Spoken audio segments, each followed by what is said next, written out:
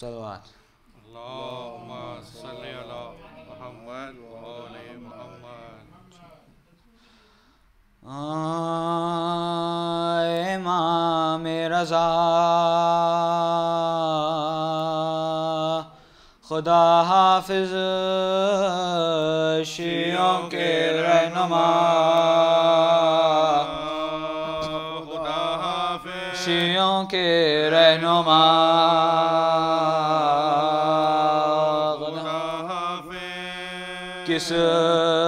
ने अंगूर जहरदार दिया जर्द तन हो गया जर्द तन हो गया खुदा थे तकी के ये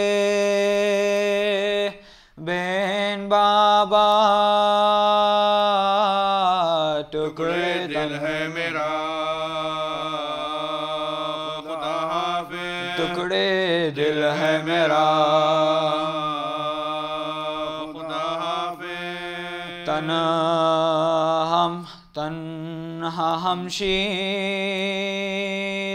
हो गए भाई। दिल भरे फातिमा। खुदा दिल भरे फातिमा।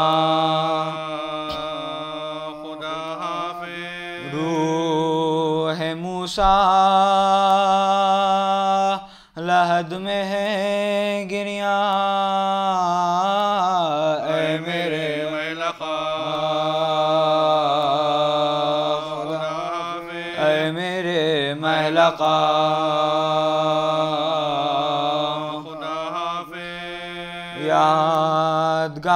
हसान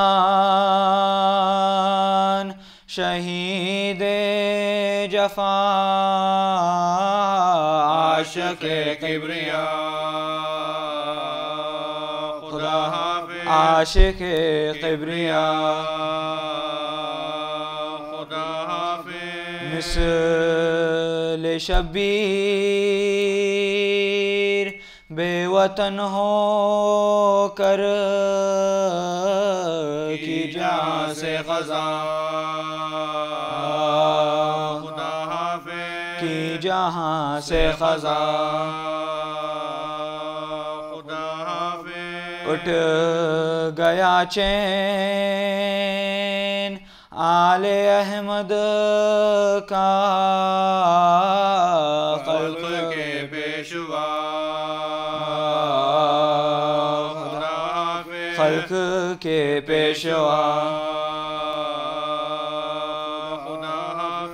हाय तन्हाई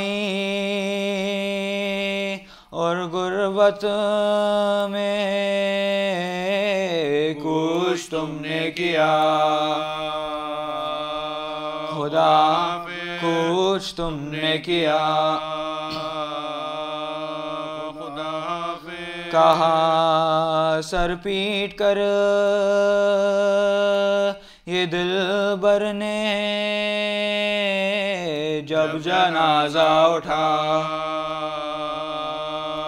खुदा जब जनाजा उठा। नो हैदर का कीजिए मकबूल। रवा मेरे हाजत रवा।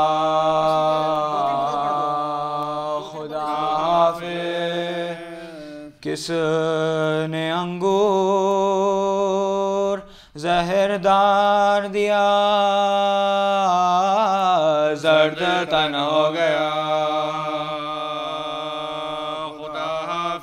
जर्द तन हो गया। खुदा यादगार हसान शहीद जफा आशिक किबरिया। खुदा हाफिज।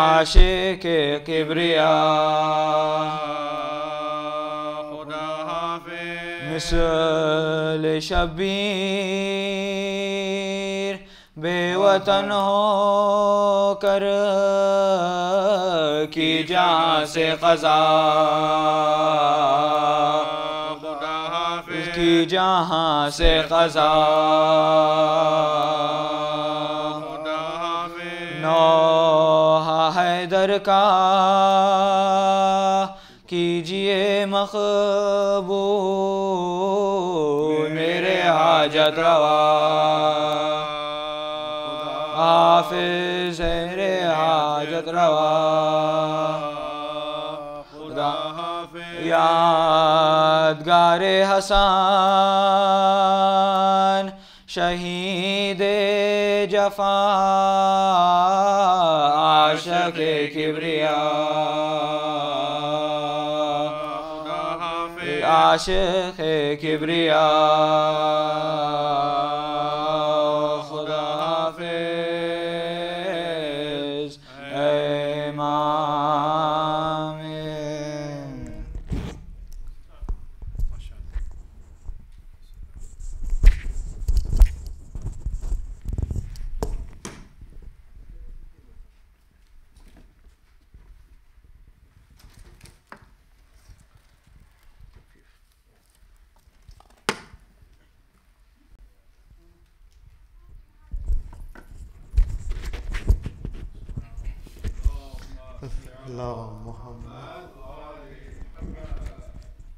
Just a reminder um, tonight after Husseini Majlis at 10 p.m. There's a house majlis scheduled at the house of brother Najib Rizvi, brother Sharia Rizvi, and brother Kamal Rizvi in Glendale Height. This majlis is going to be addressed by Maulana Sayyid Shahin Shah Hussain Naqvi. All Muminin are, are requested to attend. Now I'm going to request Sheikh Hussein Al Nashid, please come to the member.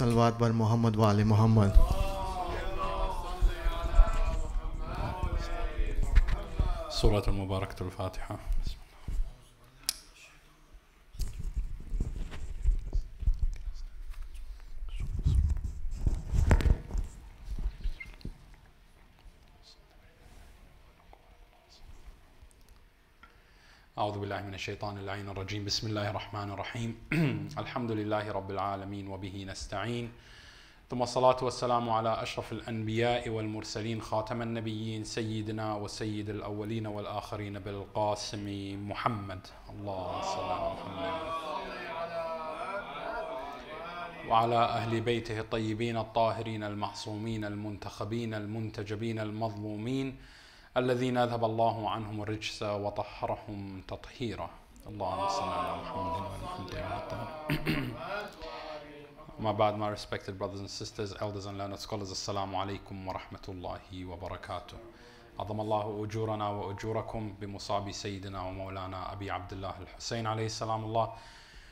We ask Allah subhanahu wa ta'ala to hasten the reappearance of the Avenger of Karbala and to bless us with the opportunity to partake in avenging Sayyid al-Shuhada Abi Abdullah al-Hussein.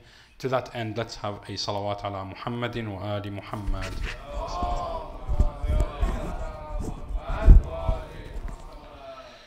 Inshallah, we will be looking at the concept of Arba'in, the importance of the Arba'in of Imam al Hussein alayhi salam and what we can learn from the lives of the Ahlul Bayt alayhi salam Allah, particularly the Sabaya, the captives of Karbala, those who were taken as hostages, the daughters of Risala, and, and also Imam Sajjad alayhi salam Allah, Imam al-Baqir, as well as the other youth of Karbala and the Ahlul Bayt alayhi salam Allah. Unfortunately, for most of us, we think that the commemoration is from the 1st of Muharram and we reach Yawm Ashura and then that's it, we disperse and Muharram is over for us. The wearing of black clothes is no longer required of us. The having you know, the sorrow in our hearts for the Ahlul Bayt is no longer applicable. And this is something that we see especially in our youth today, you know. Um, and this is not to pick on anyone, it's just to quote the reality, you know, to analyze the root cause and then inshallah to find a solution. It's not just telling you this is why you're wrong, you know, go deal with it, I'm here to tell you off. No, inshallah, this is more of an inclusive conversation where we, you know, look at the root cause of a problem and then try to come to a solution that everyone, inshallah, can agree that it would be the correct course of action in preserving the message of the Ahlul Bayt.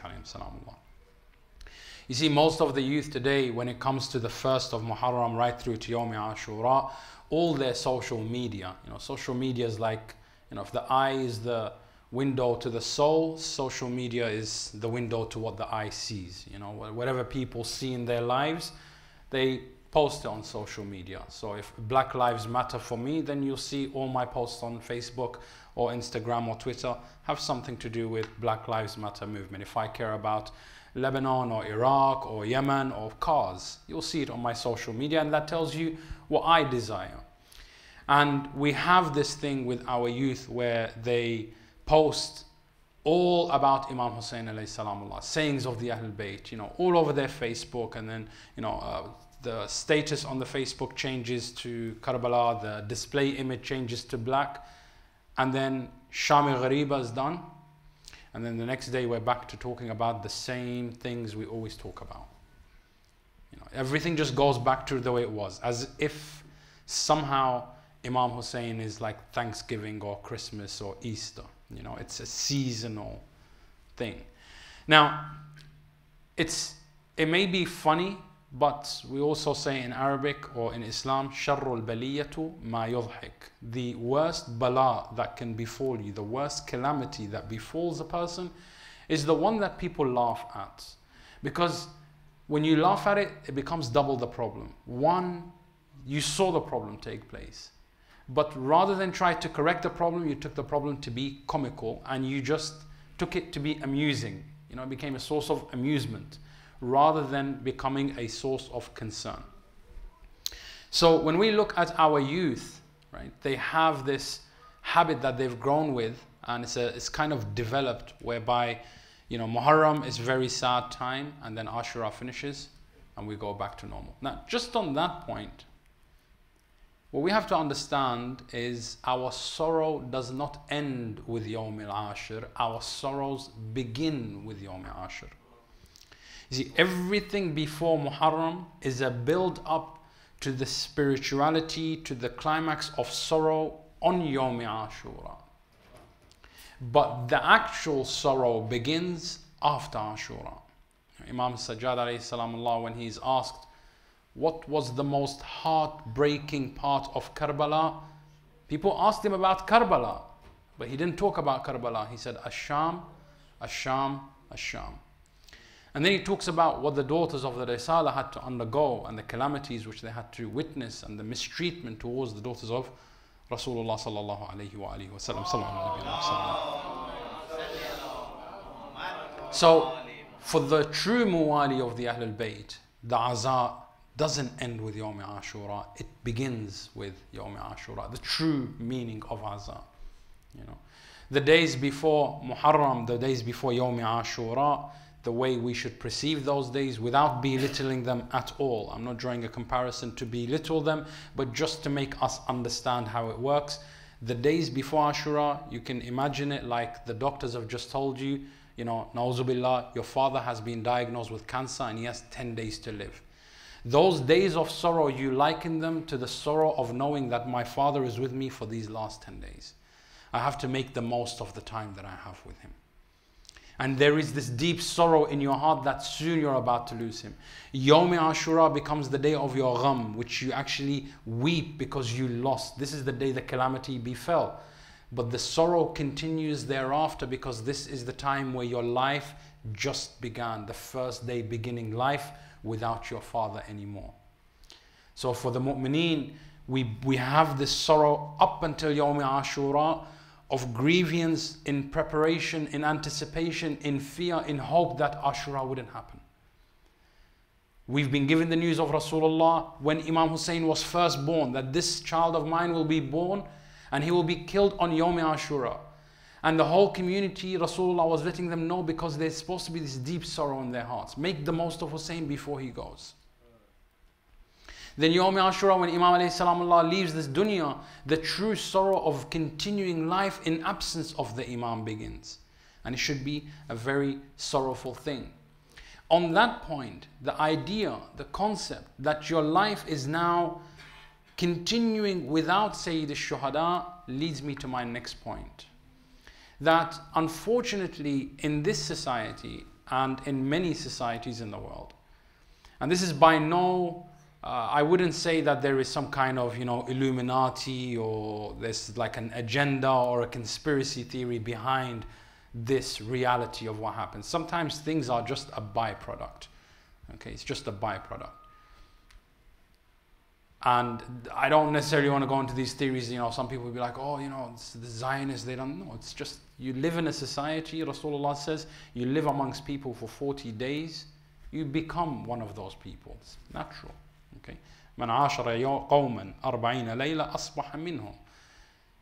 you interact with a community for 40 days, you become like them. What's your accent, right? Well, I notice with myself particularly, you know, I'm, I'm British. I'm in America. I don't use my British accent as much as I do because every time people will be like, can you repeat that again, please? Can you repeat that again, please? Can you repeat that again? So I have to adjust myself in order for the people to understand so we, there can be coexistence. You know, I mean, my Indian, Pakistani friends, and instead of saying, you know, how's things, you know, or oh, Janab, you know, you have to move with the times. You have to understand. You have to speak in a dialogue where you convey meanings. And our youth have grown up in a society where there is a season after season after season after season, and every season comes with its things and leaves with things. So Easter comes, there's absolutely no correlation between bunnies and eggs, but or even there is no correlation between these two things, even if they were to be a reality, and the uh, in the understood crucifixion of Isa ibn Maryam. There's no correlation. But people have this anticipation that for these days of Easter, we're going to have Good Friday, and then we're going to have Monday, and then we're going to have Saturday and Sunday between. That's four days off, so it's family time. So we plan around those four days off right? And after those four days, life goes back to normal. We go back to the grind, right? And children look forward to their eggs. Come Thanksgiving, everyone's looking forward to turkeys. You know, it's, a bit like Hajj. You know, everyone's looking to do the qurbani over here. Everyone wants to do qurbani over turkey, right? So Thanksgiving comes along. There's this concept of family time. Even if you're living in a different state, if you're studying in a different state, you have to make the effort to come back to the nest and be with the family on Thanksgiving, right? So these seasonal things have, it's, it's just the, the way of the life that we live here in the West. But that has created something within the generation growing up here.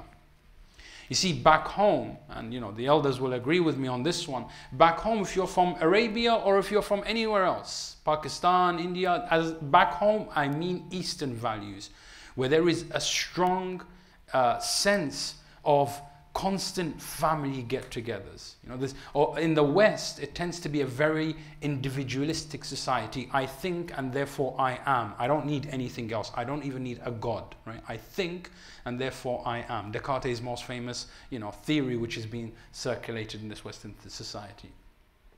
Whereas back home, we live with a different set of values in the eastern part of the world.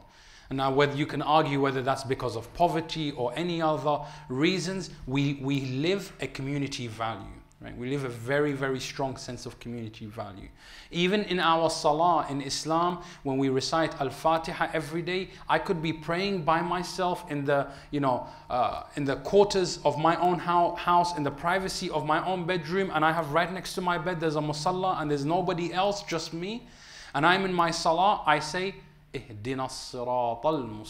Guide us. Okay, who's us? Who's with me in this room? There's nobody. But it's the collective community. I want the whole community to be on a righteous path. Because when people don't lie, I don't feel I have to lie. Therefore, I am saved and they're saved. When there are no thieves, I don't need to worry about my property being stolen. When there are no murders, I don't need to worry about my life. So therefore, I've come to an understanding through Islam that it's about collective community. Okay? Whereas in the West, it's about individual community. But there are, you know, here and there we see events where it's all about coming back together and being collective right in times for example 9-11 was a time that brought the whole nation together okay then you have thanksgiving it brings families together and christmas brings people of the same faith together at the church right and black friday brings everybody to Walmarts and best buy together right so we have these different things that bring people together okay whereas in islam or in the east there are few moments when you can be an individual. The whole time you're a society, few moments in your life you can be an individual. When a child is born, the father doesn't choose the name. Why? Because he feels shy to give the name to his child and goes to his own father and say, yeah, I named him Murtaza. Because you see, that's his grandfather, that's my father, so therefore he has a right to name my child.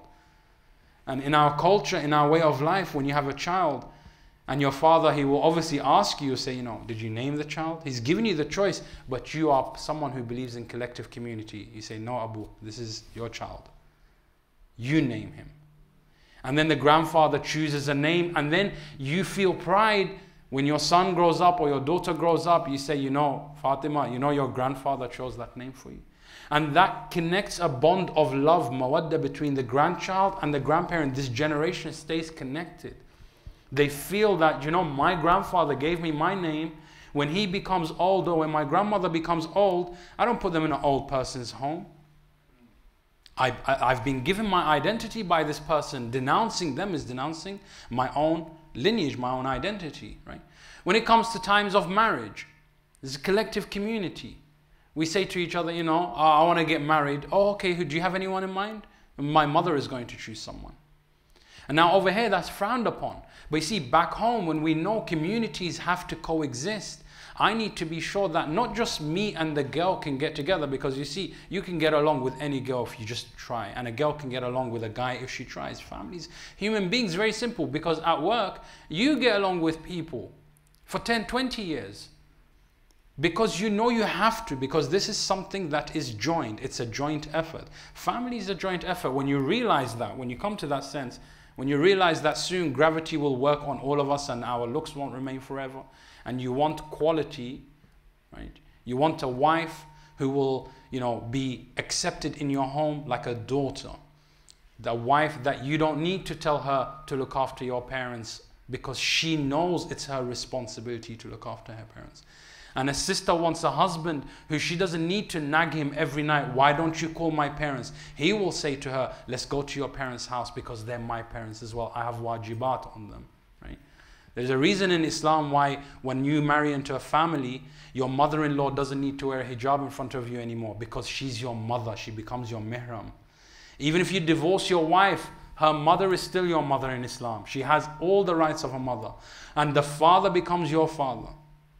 And likewise, if I divorce a woman, my father will always be her father. Allah says in the Quran Al-Kareem, Bismillah ar-Rahman ar-Rahim, forbidden for you to marry the divorced women of your sons.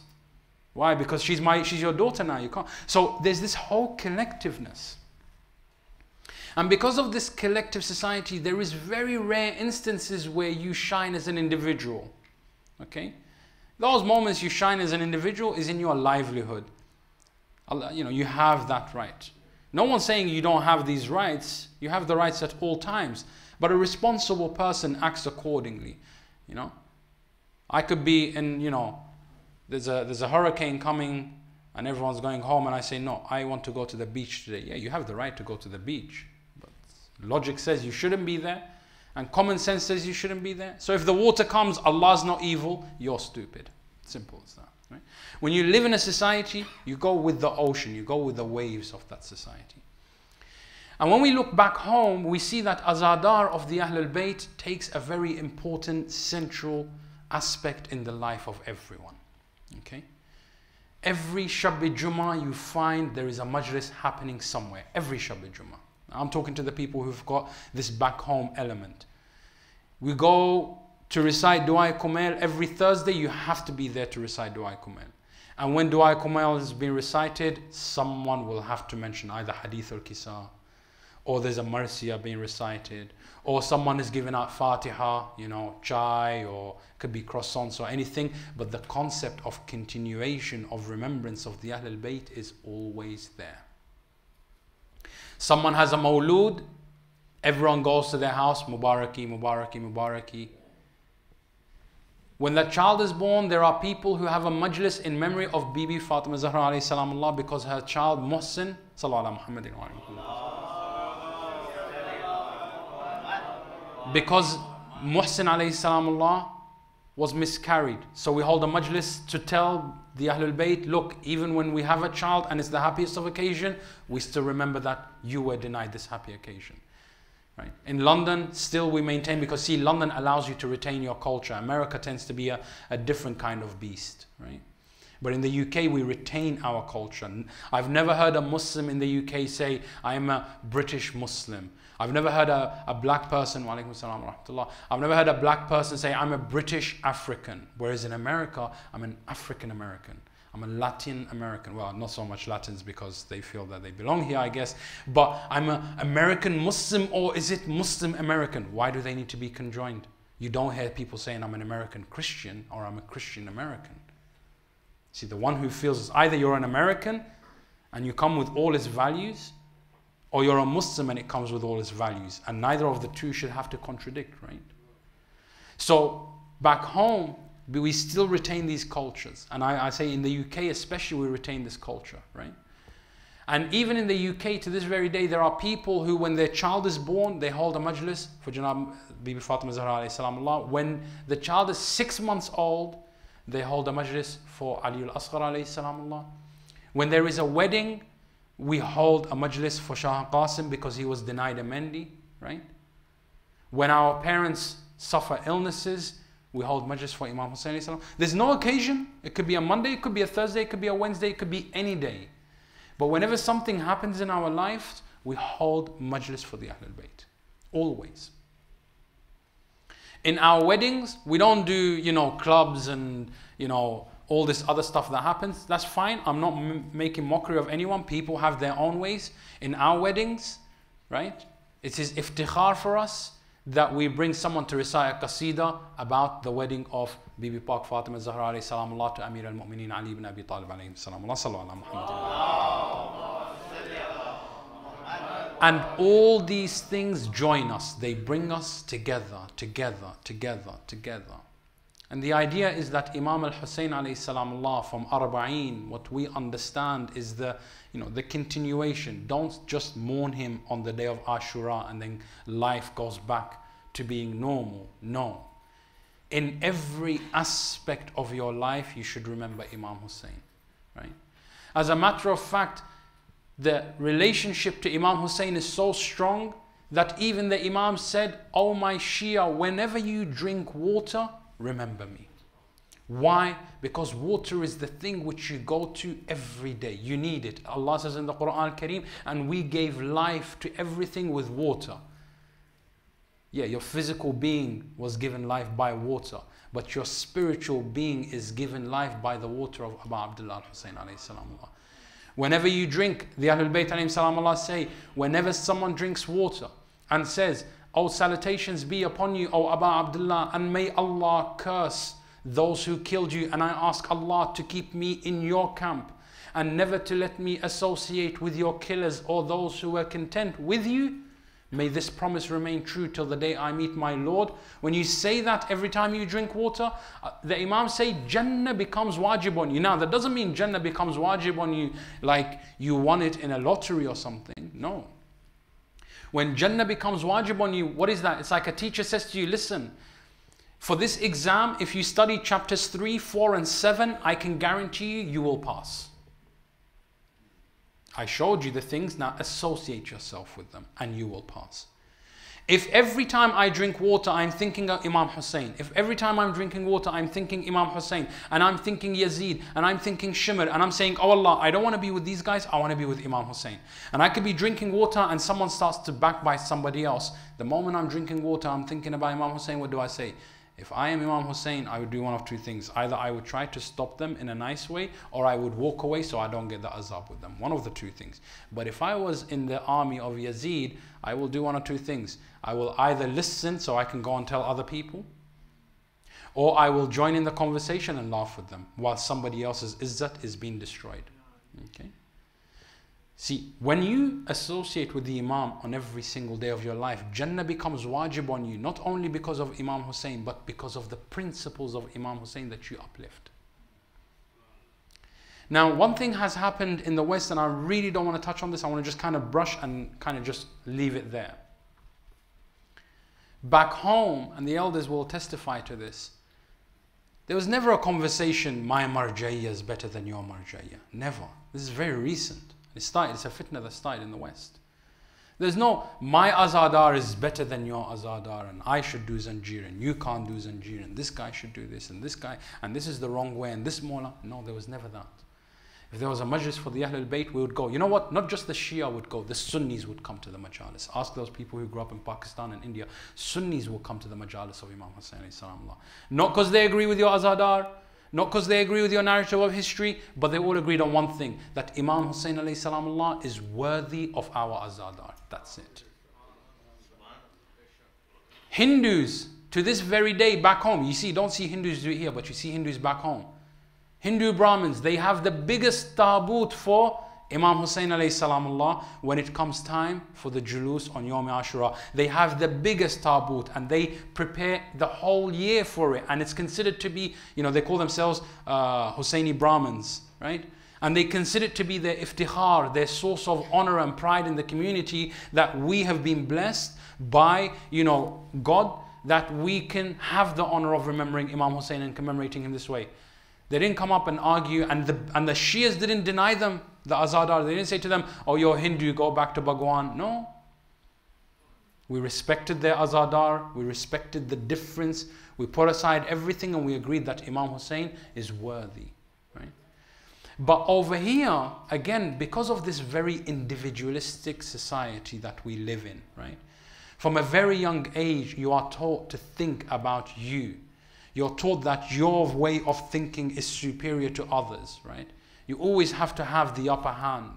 You always must be the most successful person. You have to be the best doctor, right? It's all about me, me, me, me, me, me, me. That's all it's about. And unfortunately, this is what's called subcultures. Subcultures sometimes become the overruling culture. So this is an overruling culture. All Shia Nashris believe that this should happen. We sit in the majlis of Imam Hussein. All Shia Nashris. But the problem is when we bring in subcultures within the mainstream culture. When we bring the street attitude, the way we talk to our friends on the street, we bring that in and we talk to the Shia of the Ahlul Bayt in the same way.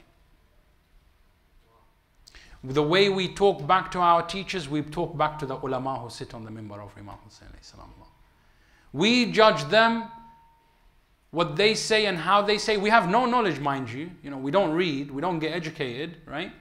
But Maulana says something because I don't agree with it, because I don't think it's right, right? I'm a carpenter, and Maulana tells me something about Imam Hussein, and I'm like, X factor. Eh. No, he's wrong. Okay, on what principle are you judging him he's wrong? You have a problem with the Maulana, go and talk to the Maulana. Allow him to explain.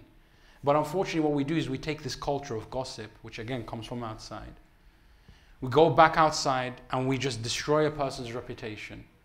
Or when a Noha Khan comes or a particular, you know, Anjuman comes, you know, we start to have these like street gangs, you know.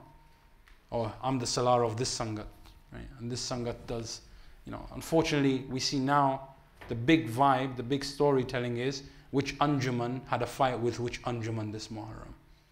You know, it's like cribs and blood, right? Honestly. When this guy recites Noha's, I'm not going to be there because I don't like his Anjuman. Or when that guy recites Noha, we're not going to do Matam. Hello? Are you doing Matam for his father or are you doing Matam for Imam Hussein? What's going on, right? I'm not going to this majlis because this Maulana is going to talk. If the Maulana is talking about Imam Hussein, you should go. Right? Because you see, back home, people didn't care about your opinion. Yeah, you had your opinion, but you know, back home, we lived in a community where I know I'm going to see you tomorrow, and I'm going to see you tomorrow, and I'm going to see you tomorrow. We all live in the same village. We all go to the same masjid. We all same people, right? So since we're going to see each other, we know we have to just, you know, sometimes just overlook what someone says, just to keep the peace. But when it comes for Imam Hussein salamullah, we, we don't even care about keeping the peace with, with anybody else. We all care about Imam Hussein. Because that's what Imam asked us for. Silmun liman salamaka. You love me, you want to do my azadar, it's very easy to do this, right? And say that you love me. It's very easy to do zanjir and say that you love the Imam. It's very easy to do anything and say that you love the Imam. You want to really show that you love me? Be the friend of a person that you don't like only because he likes me. That's a true test if you love the Imam. Silmun liman salamakum.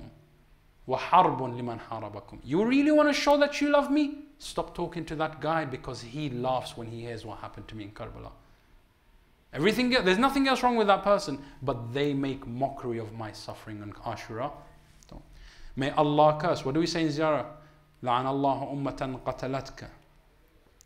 May Allah curse a nation which killed you. May Allah curse a nation which prepared to fight you. And may Allah curse a nation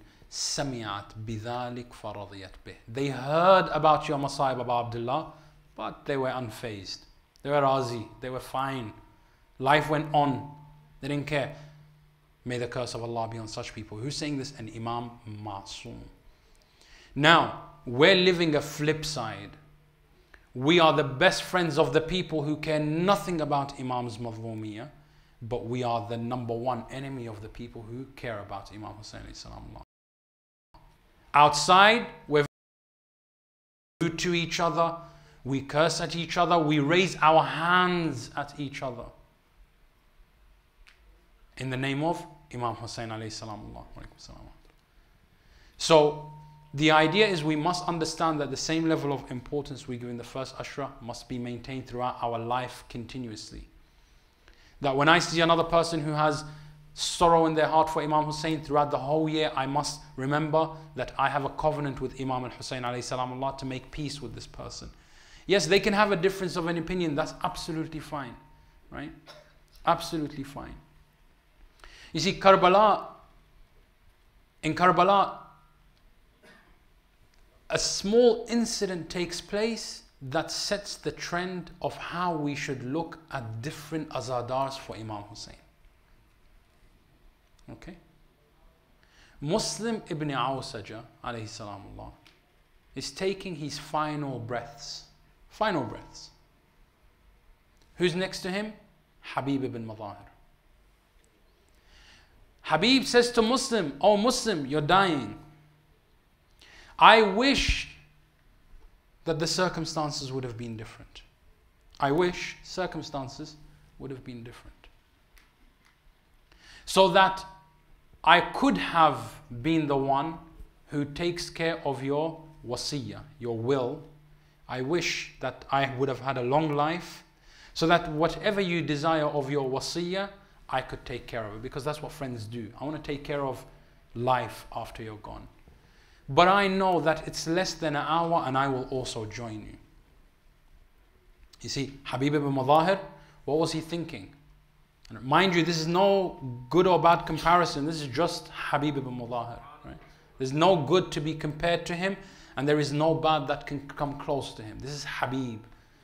The one who Imam Hussein salam tells Imam Sajjad, put all my companions in one grave and put Habib by himself so that he's distinguished. Is not an average person we're talking about.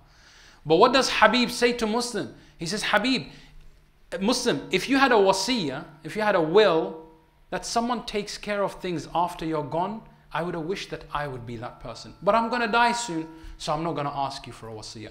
That's how he perceived the world. That wasiyah was only about, for example, material, so on and so forth. Muslim, on the other hand, because why? One of them is still alive and one is dying, so they're both different perspective, and that's just natural. That doesn't mean one is good, one is bad. It's just they're in different stages of life at the moment. Muslim responds with a, an interesting response. He says to him, Habib, what do you mean you cannot take care of my wasiyah? I have a wasiyah for you. this gharib of Karbala, do not let any harm come to him until you shield him with your life. See, Muslim ibn Awsa just saw death and he said, Yeah, I have something.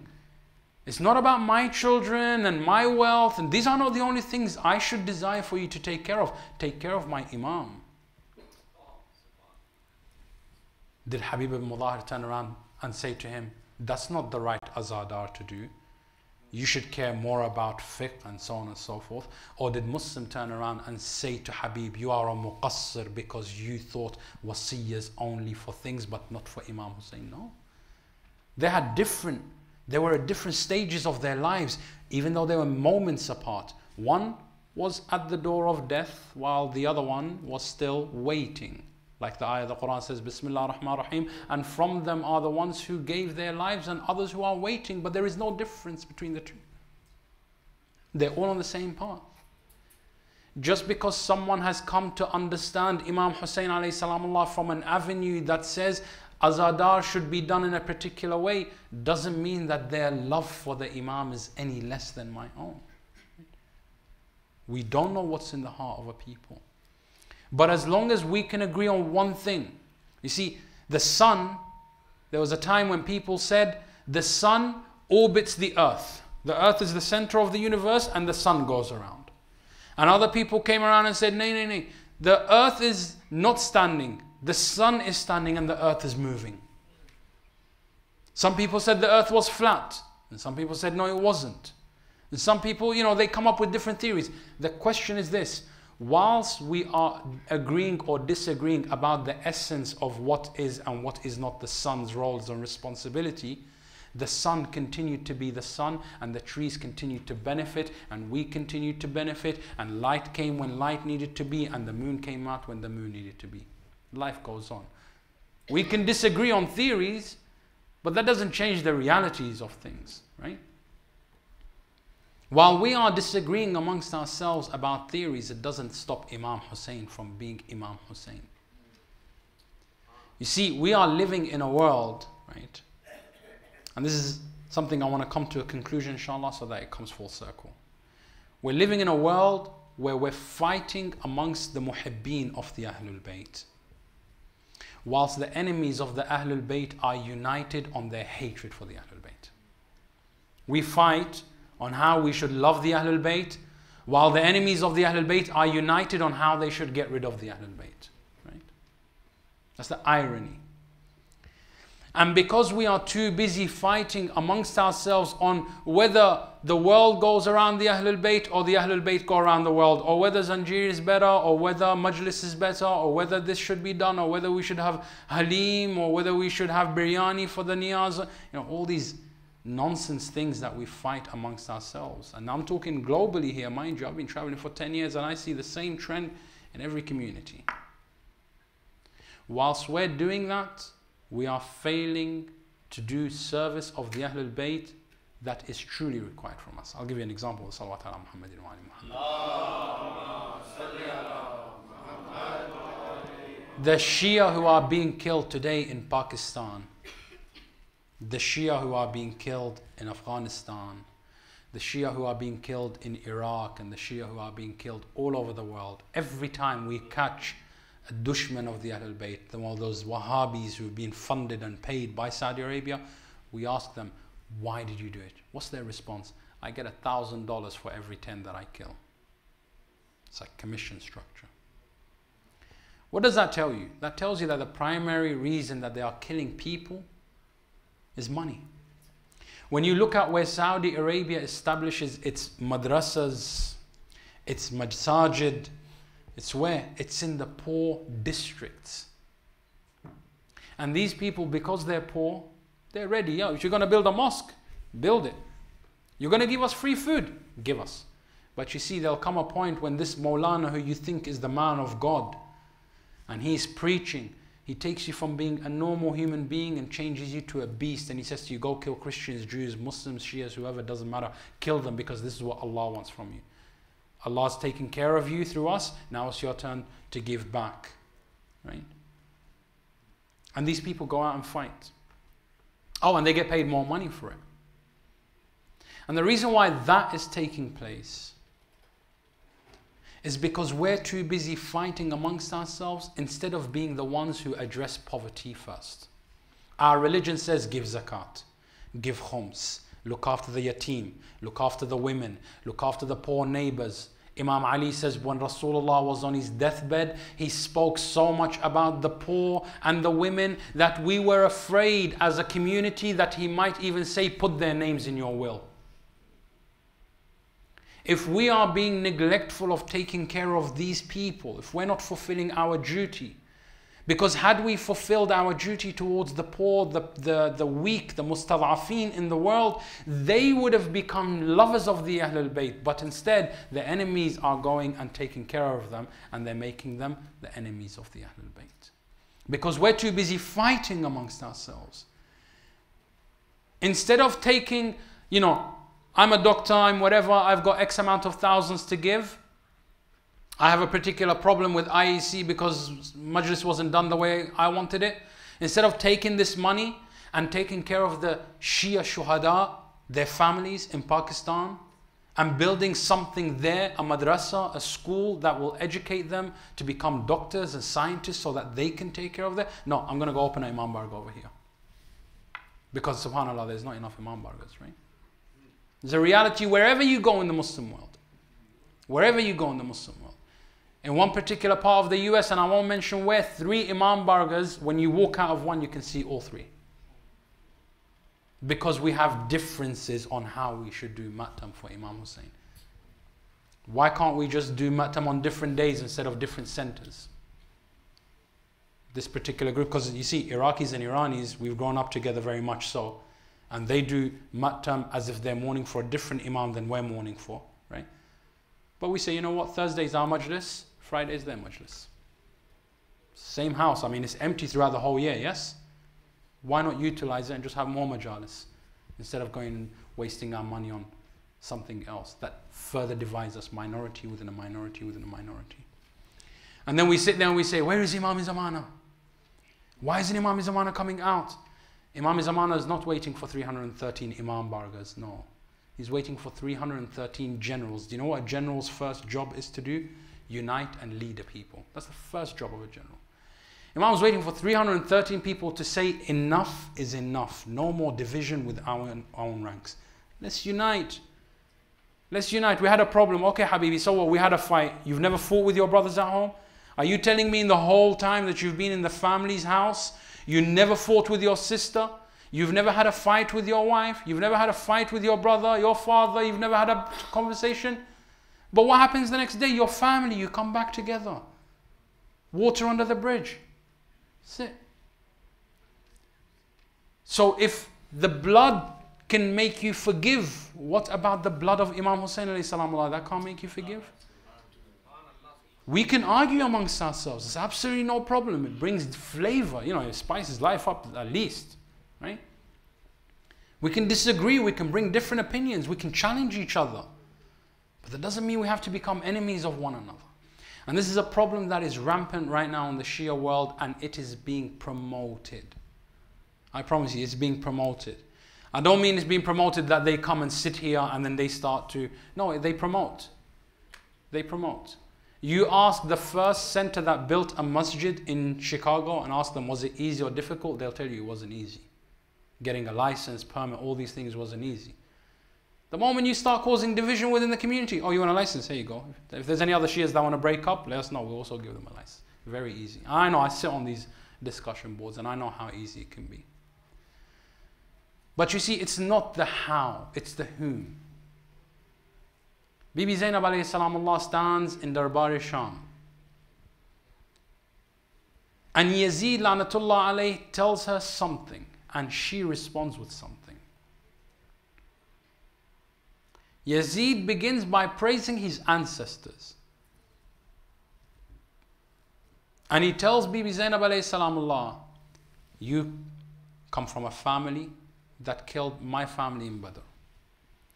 This killing of Imam Hussein is a revenge for the day of Badr. I wish that my ancestors in Badr were alive today. He begins to recite Qasida. I wish that my ancestors were alive today. They would have rejoiced and they would have praised me. And they would have said, O Yazid, may your hand never be paralyzed. For you have killed the best of Bani Hashim. Most certainly, no angel descended on Muhammad and no Quran was ever revealed. It was a game of power between Bani Hashim, and today power is ours. So he didn't believe. The reason why Imam Hussein was nothing to him is because he didn't believe. He didn't think this is the son of Rasulullah because he didn't believe Muhammad was Rasulullah. Whereas Bibi Zainab Allah responds to him with most eloquent of speech. The conclusion of his what? The conclusion is this, O Yazid, kid kaidak. You know what that means? That means go out and explore and exhaust every resource and every avenue available to you. Wasasayak and work hard. Go find supporters. You won't be able to do it yourself, go find supporters. But I swear by Allah that you will never make our sorrows be forgotten, nor will you erase our name from the books of history, nor will you be able to remove the shame of your deeds in what you have done to us, Ahlul Bayt. It's not about how you do Azadar. It's about what you do Azadar for and whom you do Azadar. It's about upkeeping the promise of Bibi Zainab Allah that this will never be forgotten. That what happened to Imam al Hussein Allah will never be eradicated. That her promise was truth. Because you see, whether we have an intellectual discussion about Imam Hussein, we still remember Imam Hussein. Whether we are giving out niyaz in the streets or in the Imam Barga, we're still doing it for Imam Hussein salam. Whether we're doing matam or zanjir zani, as long as you're not doing it for your own father, who you're doing it for? Imam Hussein salam. Everything that is being done is being done for Imam Hussein salam. I don't know about you, but me personally, I rejoice when I see different forms of matam going around for Imam Hussein salam. Do you know why? Because for the first 21 years in my life, I thought it was only people in Iraq and Iran who were Shia. I had never met an Indian Pakistani Shia in my life. I didn't know they existed. Aside from Hezbollah, I didn't know there were any Shias in Lebanon. So I thought it was Iran because Qom and Najaf. That's the only two places in the world where there are Shias. I'm 21 at the time. But then I see someone doing matam two hands. I'm like, that's different. Then I see Zanjir Zani for the first time. Hey, that's different. Qama Zani is what we Iraqis do. Zanjir Zani is different. Iranians do Zanjir, or what they call Zanjir with the L, but there's no blades at the back of the chain, whereas Pakistanis have a blade at the back of the chain. Then I see Nigerians walking around doing matam like this. Then I find out there's Shias in Russia who do matam by opening their shirt and putting their hand inside. And when I ask them, why do you do matam like that? They say, because in the communist time of the USSR, if you did matam for Imam Hussein, you would be killed. I was like, Ya Khuda, Russians who are Shia, but they lived also as oppressed Shia in Russia. There was no Saudis there. So that told me wherever you go and you mention the name of Imam Hussein, you become Mazlum. Stalin would not allow them to do matam for Imam Hussein. So they said we had to do this. We had to open our shirt, put our hand inside, and just gently tap our chest on the way to and from work to remember Imam Hussein. And we had to whisper our nohas. Now you go to Russia and you attend the Majlis Azhar, they do matam crazy, but when they finish their matam, again they open, they dim out the lights, and the Noha Khan comes and starts to whisper at the microphone and that everyone puts their hand in their pockets and starts to do matam because they say we want to remind ourselves at what cost did we have azadar of Imam Hussein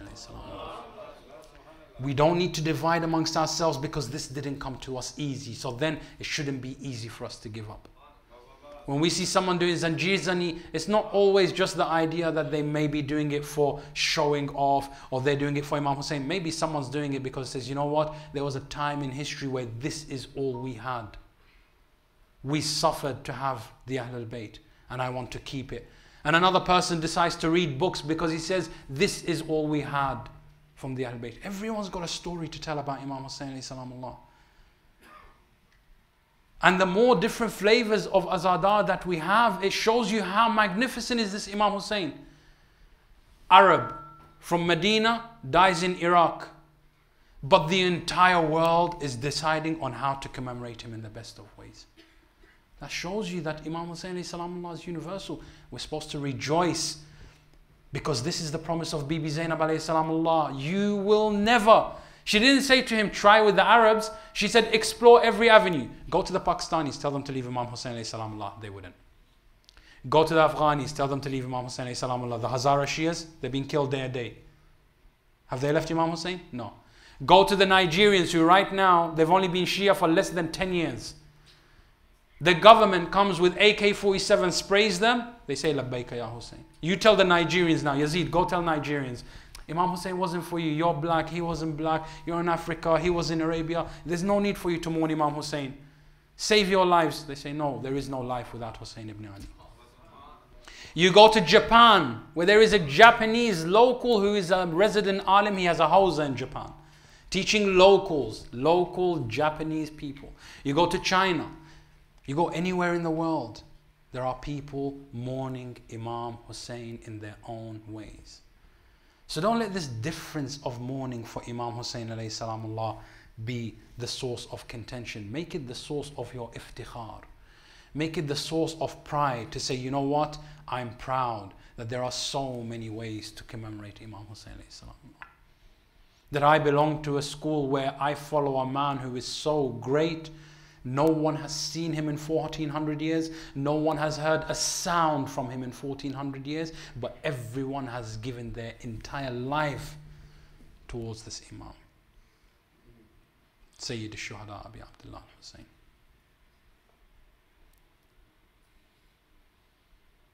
When we look at Ashab al-Imam al-Hussein alayhi salamullah, no two were the same.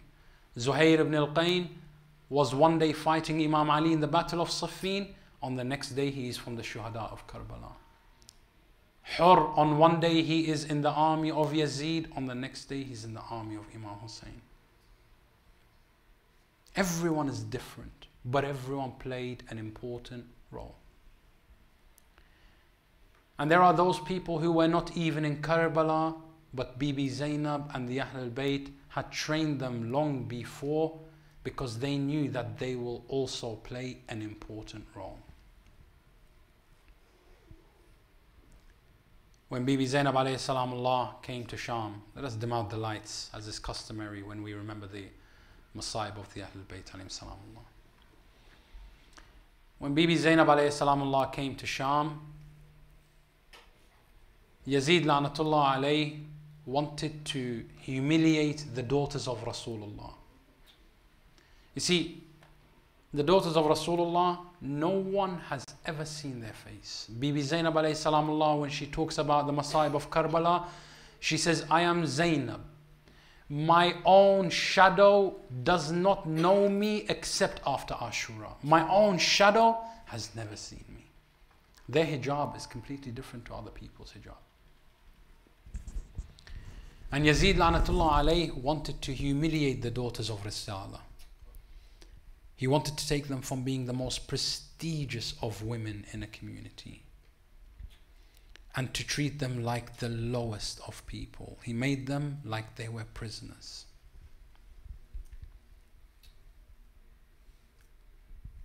And to add injury to insult, he calls his wife Hinda. Hinda used to be a student of Bibi Zainab in Kufa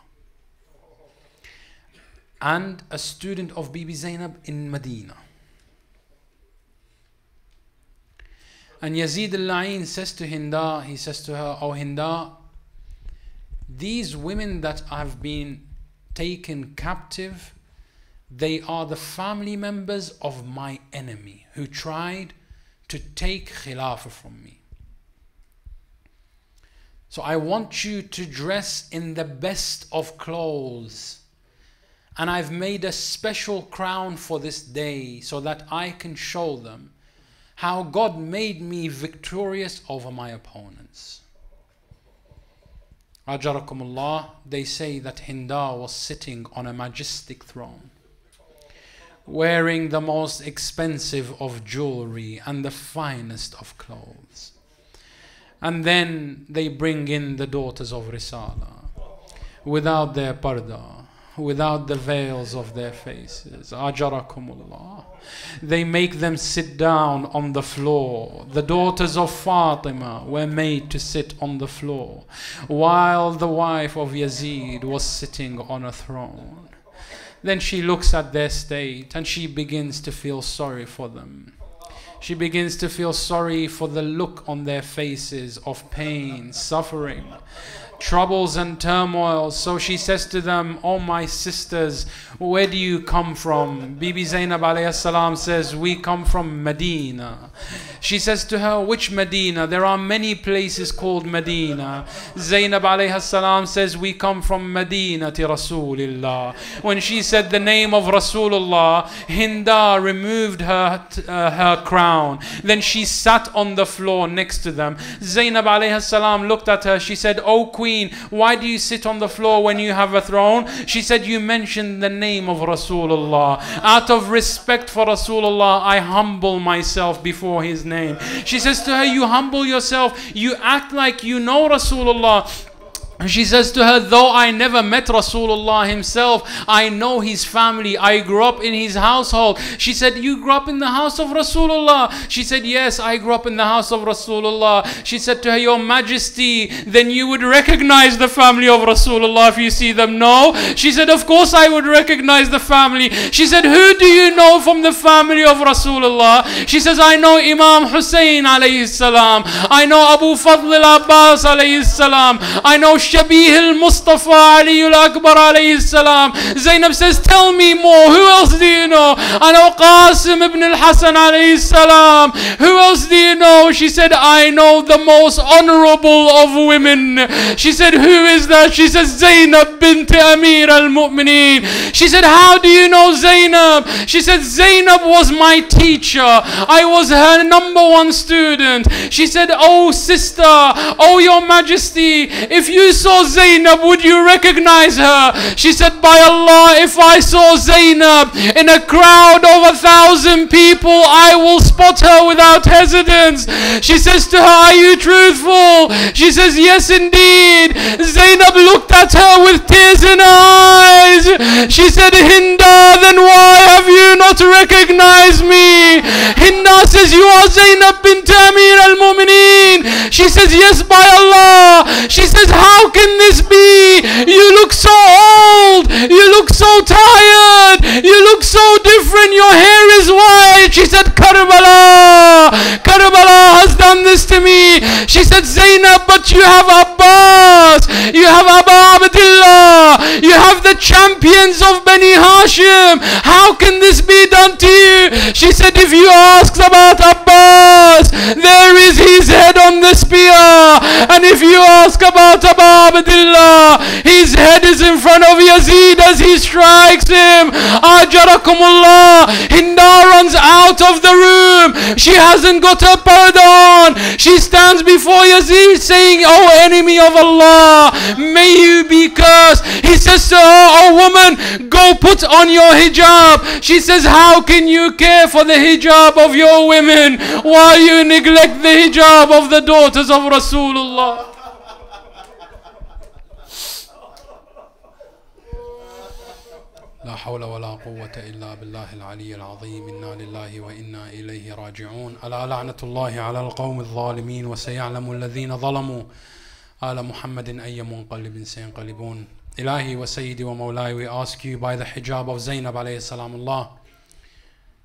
protect this community from fitna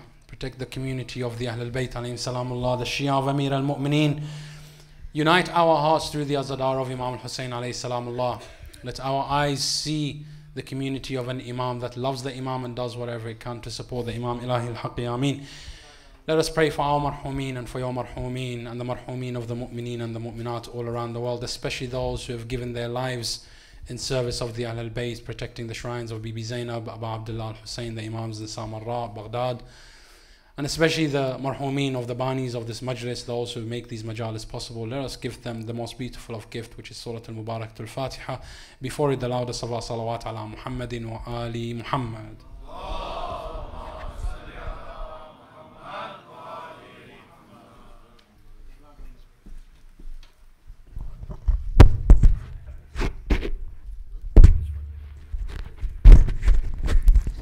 Assalamualaikum. Just one quick announcement. Um, on Saturday uh, at uh, 5:30, we have a program for Who's Hussein. It's a basically it's a workshop for anybody who wants to be a volunteer for Who's Hussein. In uh, inshallah, uh, br- brother Hussein Nashid is also going to be part of this workshop. In it, we're going to describe how to talk to non-Muslims, particularly non-Shias, about Hussein when you when you encounter them, and we're going to go through uh, various breakout activities and have individuals uh, talk to each other as if they were you know non-Muslims, and you know explaining the whole message of Hussein. So anybody who wants to be a volunteer, um, uh, please come to IEC Husseini at 5:30, and we'll start the program properly. Thank you.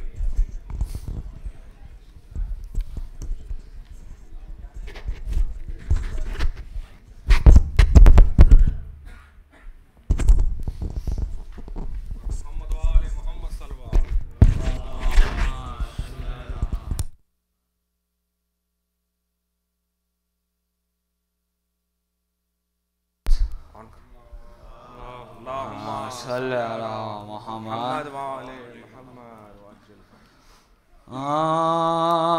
पहुँचे नजमयों शहे जीशां के सामने जिस तरह पाए मो सुलेमा जिस तरह पाए मो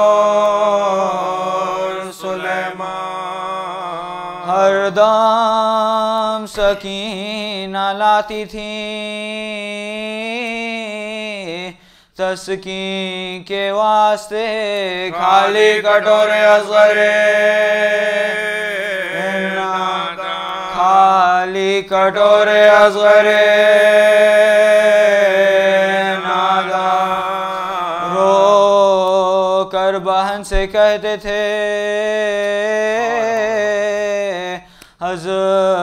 साथ ये रोज़े कात हम जबाओगे असर को। जिबा होंगे असर को। जिब है में तो ये रसूल हो। है हाँ। वहाँ का खूब होना सामने वाह हसरता के फातिमा। सर पीती रही प्यासे हुसैन से बा। माँ। प्यासे हुसैन से हुए माँ। रख ले उठा के सर पर। अदब से ये चाहिए। मुसफ़ जवाए साहिब, ईमा के सामने नीचे सरे हुसैन हो। और तख्त पर यजीद फैलाए पाँव बैठा हो। फैलाए पाँव बैठा हो।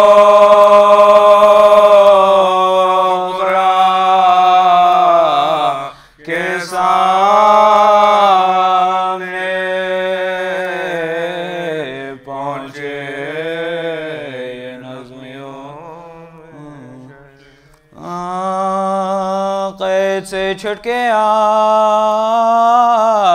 है जैनाब सदमे दिल पर उठाई है जैनाब कब्र की बनाई है जैनब। कुछ मोगला कुछ मोगला है।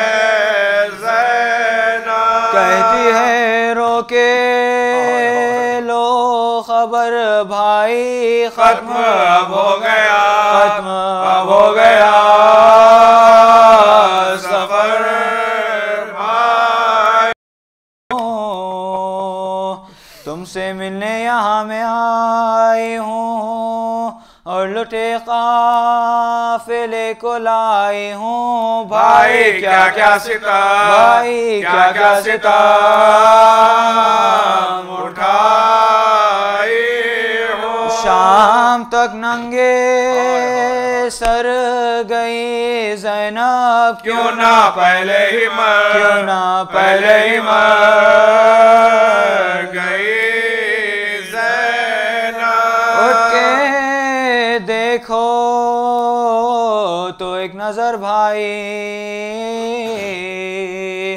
टुकड़े सदमों से है जिगर भाई। हो गया है सफ़ेद सर भाई। झुक गई है मेरी कमर भाई। वादा पूरा मैं करके आई हूँ। पुष्ट परताजिया। पुष्ट परताजिया। लिखाई हो। सारे कुनबे को साथ लाई थी। मेहनतों से ये घर बसाई थी।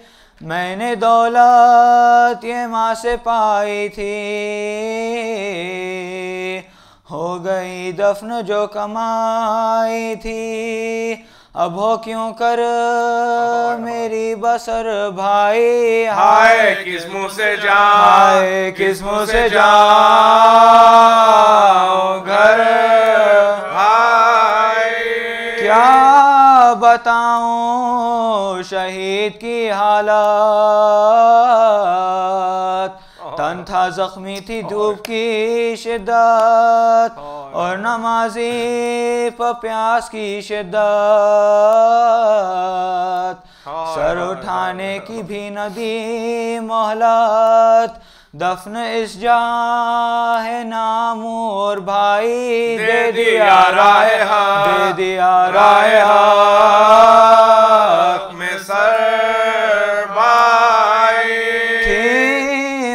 थी में मेरे रसवाई।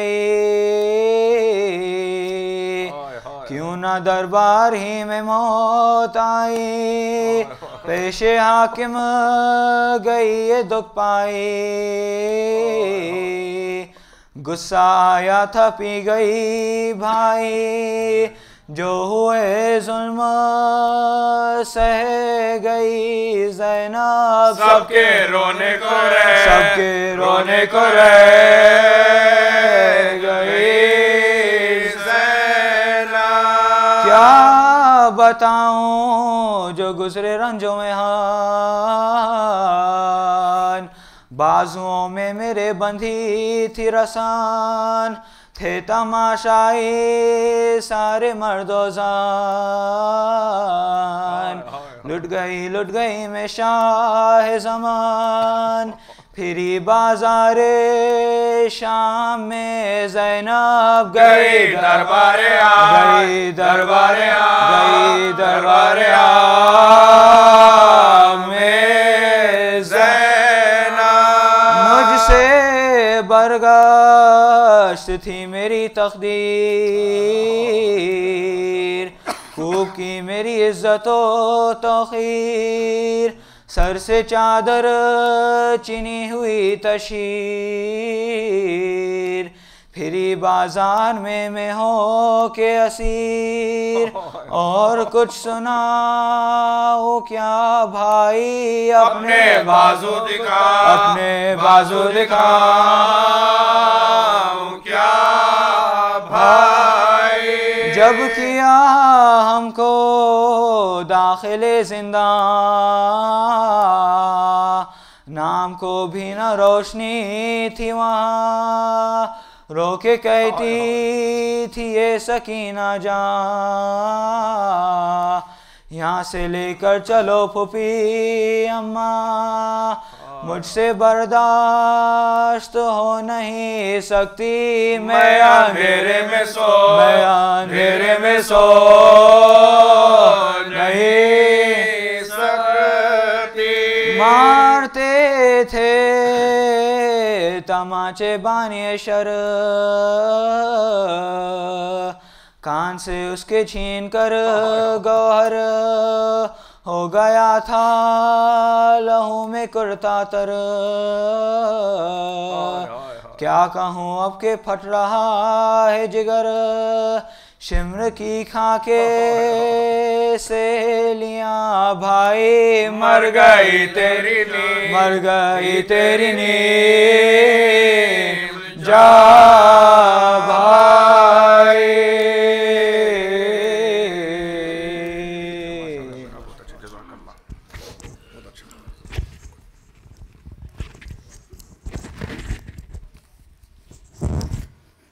बस मोहम्मद वाले मोहम्मद सलवार।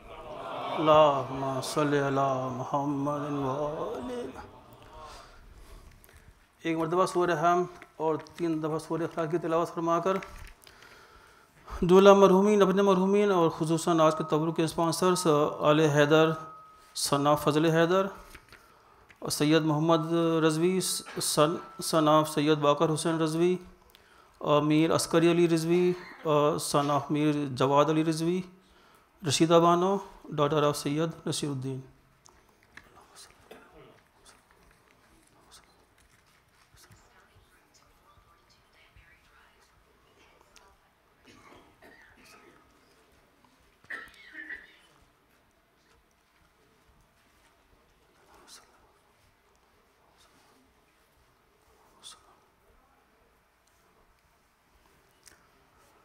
वाले मोहम्मद सल्लल्लाहु अला मुहम्मदिन वाले मोहम्मद इंशाल्लाह आज इस मजलिस के फ़ौर बाद जनाब नजीब रजवी साहब के, मीर भाई के दौलत खाने में मजलिस है। इस मजलिस को मौलाना सैयद शहनशाह हुसैन नकवी साहब खिताब फरमाएँगे।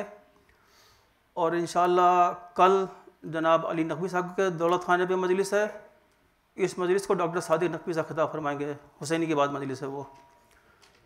सैटरडे इंशाल्लाह मजलिस दिन में एक बजे जनाब अलमदार रजवी अलमदार हुसैन साहब के दौलत खाने पे बफेलो ग्रोव में, उस मजलिस को मौलाना शहनशाह हुसैन नकवी साहब खिताब फरमाएँगे। और एक बजे दिन में Carpenter Crystal Lake, Romeo Mill के पास जो है, सबर कैसर बुखारी साहब के दौलत खाने में मजलिस है। उस मजलिस को असद यावर साहब खिताब फरमाएँगे। इंशाल्लाह, सैटरडे की नाइट हुसैनी की मजलिस के बाद जनाब अबीर रिजवी साहब के दौलत खाने पे मजलिस है। संडे को आईसी में मजलिस, जो रोज़े अरबईन होती है वो दिन में एक बजे शुरू होगी। और संडे को जुलूस अरबईन, जो वहाँ डाउनटाउन में निकलता है दिल्ली सेंटर से, इंशाल्लाह दस बजे। उसकी पार्किंग अरेंजमेंट्स किया गया है two zero one West Madison Street पे। उसका पार्किंग टिकट फाइव डॉलर पर कार है। For further information please contact Kamran Jafri और इंशाल्लाह जो 27 को जो जुलूस निकलेगा दीवान और लेविड स्ट्रीट से, उसका वक्त साढ़े बारह बजे है। वो जुलूस, उसकी पार्किंग जो है वारन पार्क में होगी, जुलूस वहीं पे ख़त्म होगा। और दीवान और लेविड से शुरू होकर वारन पार्क में ख़त्म होगा। तो आप पार्क वहीं पे कर सकते हैं, वो पार्किंग फ्री है। बर मोहम्मद वाले मोहम्मद सलवात अला मुहम्मद संडे को आईसी की मजलिस के बाद एक मजलिस करार हैदर साहब के दौड़ खाने पे है कैरोल स्ट्रीम में चार बजे और दिन में दो बजे हुसैनी के बाद जनाब अदनान जाफरी साहब के दौड़ खाने पे है बॉलिंग ब्रुक में तो वहाँ भी आप ज़रा से शिरकत की दरख्वास्त है इंशाल्लाह सैटरडे नाइट यहाँ पे शबी हमारी और ताबूत सल्लम बरामद होगा अल्लाह महमद मोहम्मद।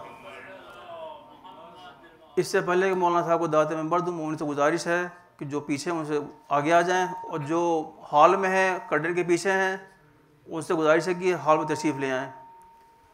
इसी तरह मुलतमस हजतम मौलाना सैद शहशाह हुसैन नकवी साहब से कि वो आए बरन अखरों से में बवाज बुलंद नारे सलवाद।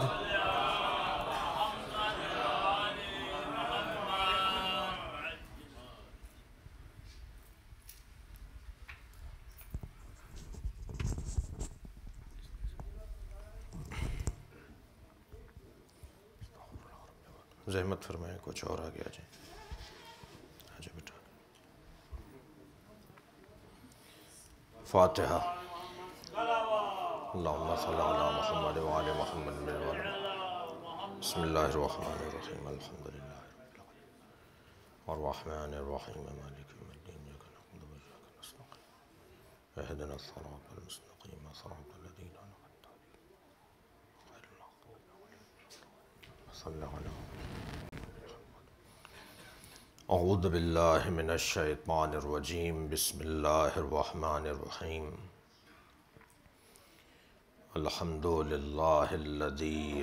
यबलुगु मिदहतहुल क़ाइलून वला युहसी नअमाहुल आद्दून वला हक़्क़हुल मुजतहिदून अल्लज़ी लैसा लिसिफ़तिही हद्दुम महदूद वला नअतुम मौजूद वला वक़्तुम मअदूद वला अजलुम ममदूद फ़तरल खलायक़ा बिक़ुदरतिह व नशर अर्रियाह बिरहमतिह अस्सलातु वस्सलामु अला अहमद सय्यदिना व मौलाना व मौलल कौनैन जद्दिल हसन वल हुसैन आनी अबुल क़ासिम मुहम्मद अल्लाहुम्मा सल्लि अला मुहम्मद व आलिहि तय्यबीन अत्ताहिरीन अलमासूमीन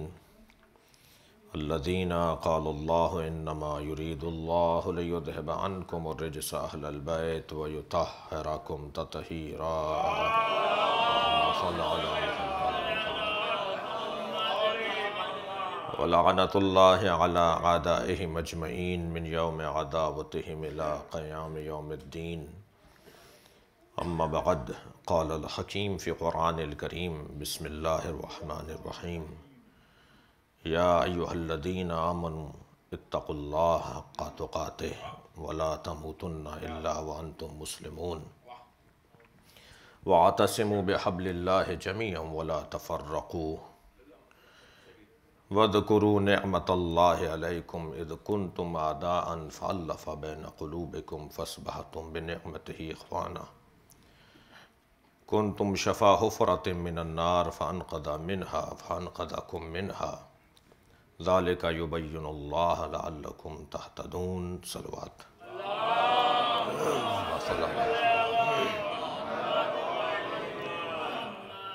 सूरह मुबारक आल इमरान की दो आयतें, जिसे आज की इस मजलिस के लिए भी उनवान करार दिया।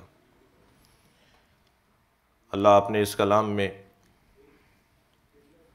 एक मारफ और मालूम का अजीम ज़ख़ीरा हमें अता कर रहा है। या युहल्लदीन आमनु ए साहिबान ईमान तकुल्ला तकवा परवरदिगार इख्तियार करो।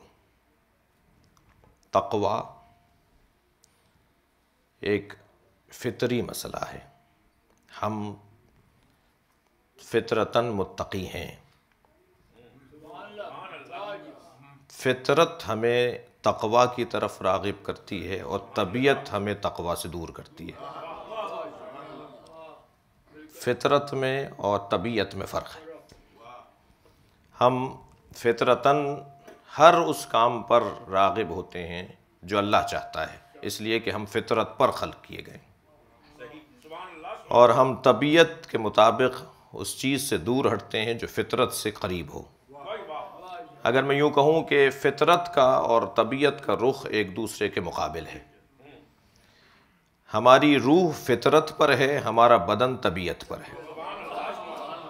रूह हमें रूह हमें सलवात पढ़े मोहम्मद।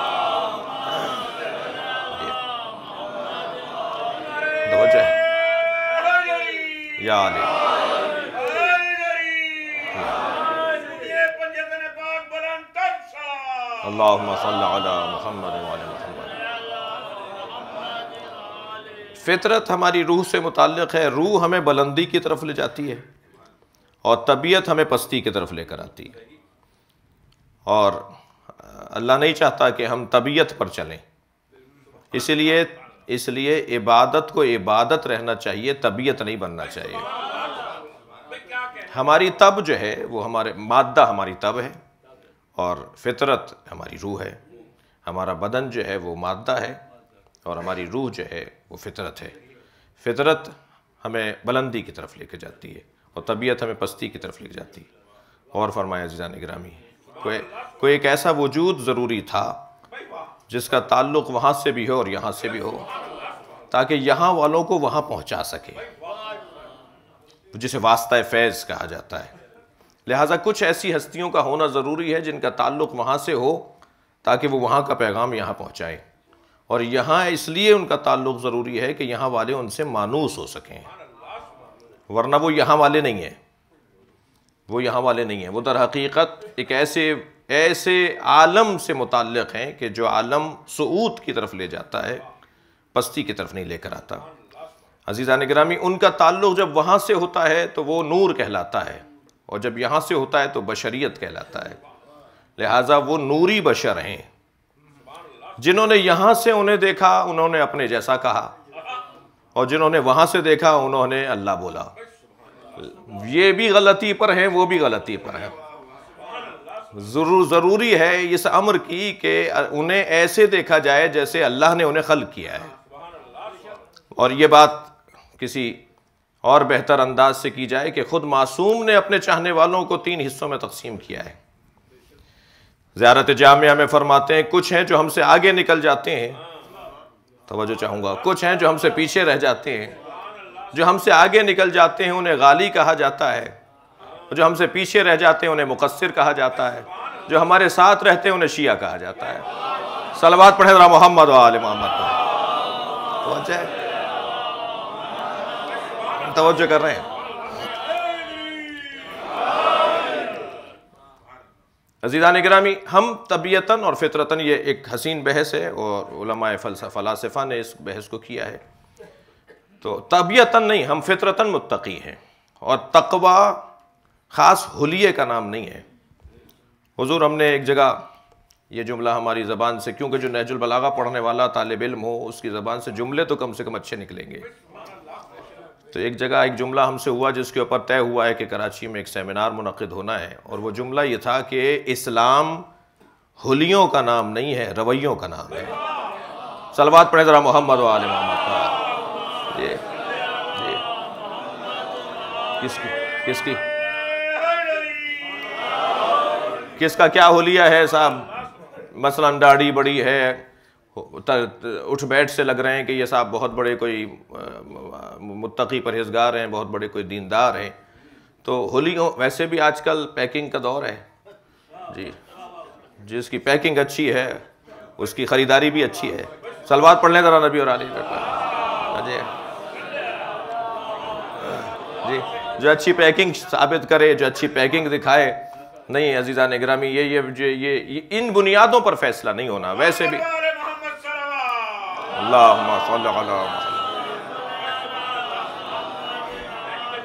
इन इन बुनियादों पर फैसला नहीं होना। हम दुनिया में जब कदम रखते हैं तवज्जो आपसे बेहतर चाहूँगा जब हम दुनिया में कदम रखते हैं तो सबसे पहला काम जो हमारे साथ किया जाता है चंद लम्हबादी जो हमारे साथ सबसे पहला काम होता है वो ये होता है कि हमें कपड़े पहनाए जाते हैं। जी। अरबी ज़बान में ये जो कपड़े हम बच्चे को पहनाते हैं, अरबी ज़बान में इसे लिबास कहते हैं। लिबास अरबी का लफ्ज़ है। और लिबास का मतलब है धोखा।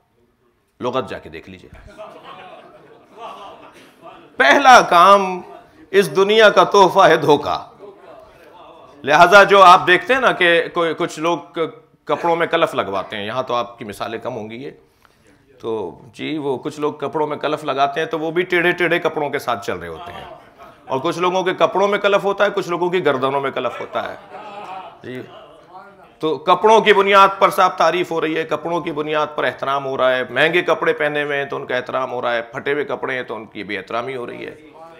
अगर कोई महँगे कपड़ों में आ जाए तो उसके लिए एक मरतबा खड़े हो जाते हैं लोग, और अगर किसी का कालर उधड़ा हुआ हो, किसी का पायचा फटा हुआ हो तो लोग उसके सलाम का सही तरह जवाब भी नहीं देते। तो क्या मालूम कि जो महँगे कपड़ों में आ रहा है, वो यजीद दौरा हो।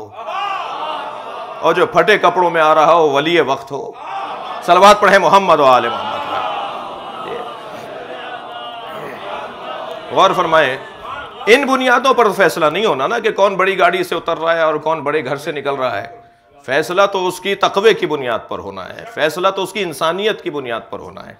तो पहला काम इस दुनिया में जो हमारे साथ किया जाता है, वो है लिबास हमें पहना दिया जाता है। अब ये लफ्ज़ लिबास को जहन मुबारक में रखते हुए मौला अली का एक जुमला महसूस करें।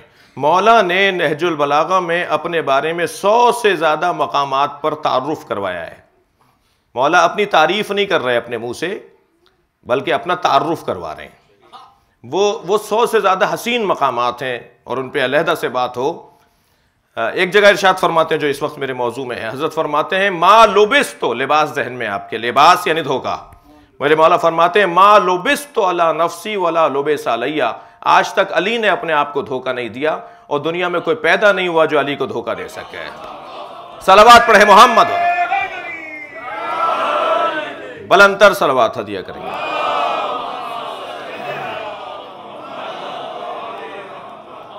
तो असल मैार फजीलत है तकवा। और तकवा, हम फितरतन हर चीज़ नहीं खाते, हर चीज़ नहीं पीते, हर जगह नहीं जाते हर एक से नहीं मिलते, हर बात नहीं बोलते, ये जो नहीं करते नहीं करते नहीं करते, इसी को तकवा कहा जाता है।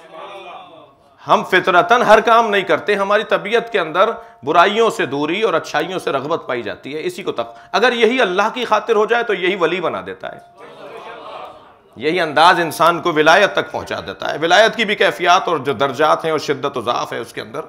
और जितने भी दुनिया के अंदर आप देखें कि वली अगर आपको मिलेंगे तो वो सब सर सिलसिला विलायत अली से जुड़े हुए होते हैं। कोई नहीं मिलेगा दुनिया के अंदर वली के जो अली से जुड़ा हुआ ना हो। और मैं नहीं उस बहस में जाना चाहता तसव्वुफ़ वाली में कि सिर्फ़ एक, बारह सिलसिलों में सिर्फ़ एक सिलसिला है तसव्वुफ़ का जो मौला से कटा हुआ है। तो बहरहाल उनका हाल भी बहस ही है जैसा होना चाहिए। लेकिन इतना ज़रूर है कि हर सर सिलसिला विलाय, वली बन जाता है इंसान अगर साहिब तकवा हो जाए। मेरे मौला की महफिल सची हुई है। हज़रत के दरवाजे पर हर गैर और हर चाहने वाला आ सकता है। दरवाज़ा सबके लिए खुला हुआ है। और ये हमें एक अजीम पैगाम है हमारे आइम्मा अहल बैत का कि किस तरह तुम अपने आप को वसी और स्याह सदर के साथ पेश करो। हज़रत की महफिल सजी हुई, एक चाहने वाले ने हम्माम इबन उबादा और अहल सुन्नत भाइयों ने उनका नाम लिखा है हम्माम इबन शुर। एक नाम से दो लोग वहाँ मौजूद थे। यानी एक की वल्दियत शुर है, एक की वल्दियत उबादा है। नाम एक ही है हम्माम। आवाज़ देकर कहा, सिफली या आमिर अलमोमिन ए मौला, मुझे मुत्तकीन की सिफात बयान करके बताएँ कानी अंदरहिम और ऐसे बयान फरमाएँ, गोया मैं उन्हें देख रहा हूँ। यानी अली से इल्म भी चाहिए और अली से खिताबत भी चाहिए। ऐसे बयान फरमाएँ, गोया हम उन्हें देख रहे हों। तो हज़रत ने रावी कहता है फ़तसाम मौला अली ने जवाब देने से गुरेज रखा। लग रहा है मौला के ज़बान हाल से कि मौला जवाब नहीं देना चाहते। एक मरतबा। फिर उसकी आवाज़ आई, मौला मुझे बताएँ, मुत्तकी किसे कहते हैं? हज़रत ने कुरान की आयत तिलावत फरमा दी, या हम माम इतला व अहसन इन्दीन इतकू वहम मोहसिन ये कुरान की आयत हज़रत ने तिलावत फरमाई। ए अम्माम तकवा परवदिगार इख्तियार करो, नेकी के काम करो, और अल्लाह मुत्तकियों के साथ भी है और नेकूकारों के साथ भी है। ये कहकर मौला खामोश हुए। रावी कहता है, फ़लम यकना हम माम हम माम का आने नहीं हुए। तो तशफ़ी नहीं हुई। फिर एक मरतबा आवाज़ दी, मौला, बताइए, मुत्तकी किसे कहते हैं? तो हज़रत ने फिल बदी, खुतबा देना इर्शाद फरमाया, खुतबा इर्शाद फरमाया, एक सौ दस सिफ़तें मुतकीन की बयान फरमाई। और हर सिफत जो मौला बयान फरमा रहे हैं, वो मुकम्मल एक उनवान गुफ्तु है। और और हर हर फ़िक्रा और हर मौला का जुमला और हर सिफत मुत्तकी, अजीज़ा ने ग्रामी, एक रिधम के साथ मौला बयान फरमा रहे हैं। यानी अली के इस कलाम को शाहकार अदबियात शुमार किया गया है। दुनिया अदब अरब की अदबियात का शाहकार है मौला अली का ये खुतबा। हर फ़िक्रे को रिधम के साथ मौला फरमा रहे हैं, काफ़ी और रदीफ़ के साथ फरमा रहे हैं। और बोलते चले जा रहे हैं जैसे एक समंदर मारिफत बह रहा हो। और जब 110वीं सिफत पर मेरे मौला पहुँचे तो चीखने की आवाज़ आई सबने मुड़ के देखा तो हमाम मर चुके थे। वो जो बार बार कह रहे थे, अब समझ में आया कि जब मौला जवाब नहीं दे रहे थे, वो क्यों नहीं दे रहे थे? इसलिए कि अहले बैत का जवाब न देना भी जवाब हुआ करता है। सलावात पढ़े मोहम्मद वाले मोहम्मद पर। जी।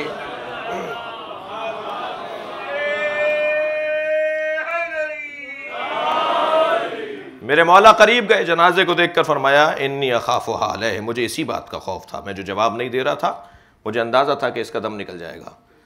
तो एक मरतबा वहाँ बैठे हुए एक शख्स ने आवाज़ देकर कहा, या अली, आप तो कह रहे हैं कि आपको खौफ था कि इसका दम ना निकल जाए। इन बातों का असर आप पर खुद क्यों नहीं होता? मालूम यह हुआ कि ये दुश्मन है, मुखालिफ है, बदतमीज़ है, बेअदब है और बेअदब है मगर अली की महफिल में बैठा है।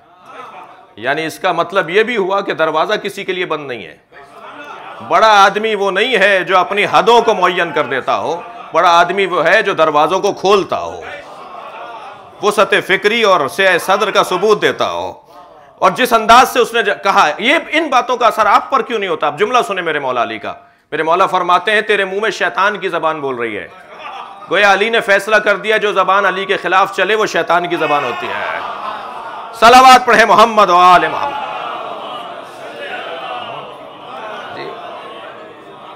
अब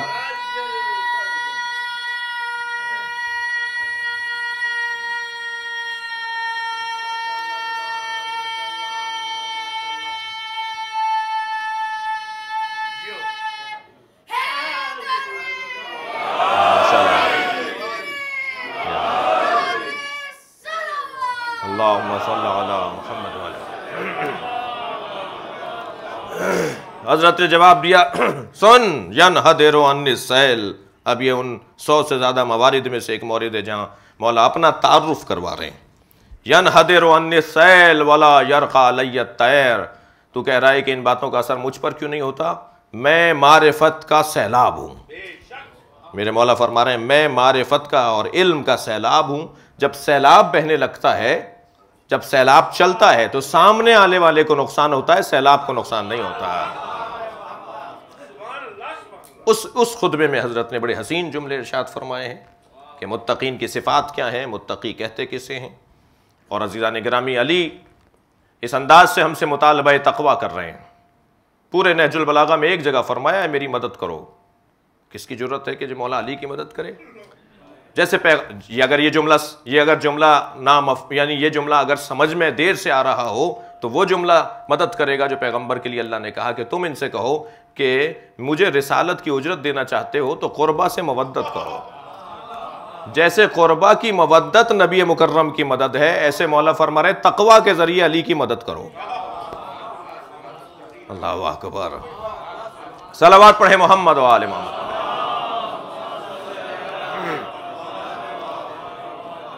हक का तुकाते ए साहिबान ईमान, तकवा उसके मुकम्मल हक के साथ अदा करो।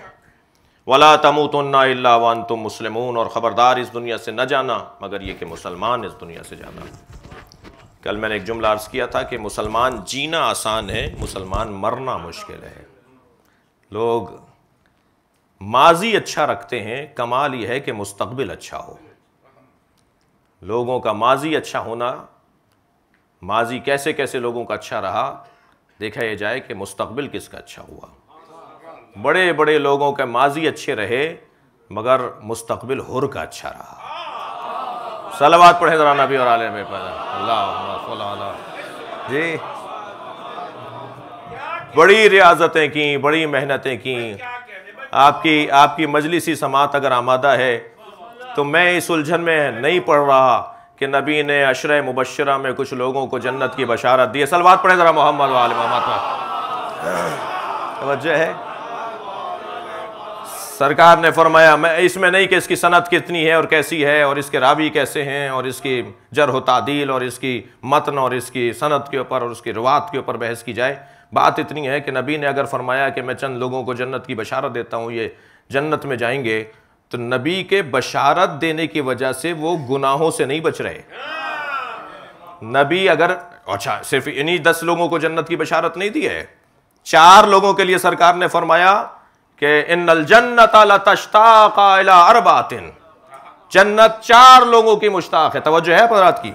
थोड़ी गर्दन हिलाते रहेंगे तो मेरे ऊपर एहसान होगा आपका। जी, ताकि मुझे लगे कि मैं यहाँ पर जो आप तक बात पहुँचा रहा हूँ। जन्नत चार लोगों की मुश्ताक है। असलमानो व अबू जरुन व मकदाद व अम्मार। हम तो किसी अल्लाह मोहम्मद। जी।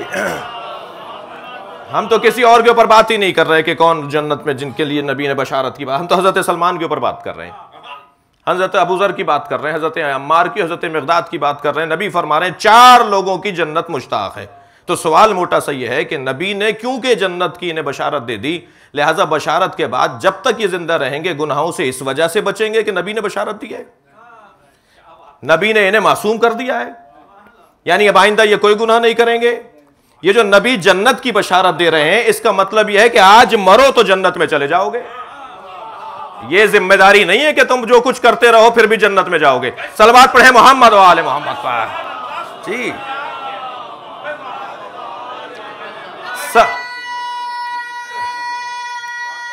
तो है?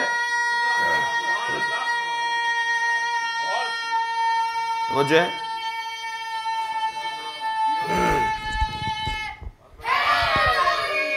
माशाल्लाह। माशाल्लाह।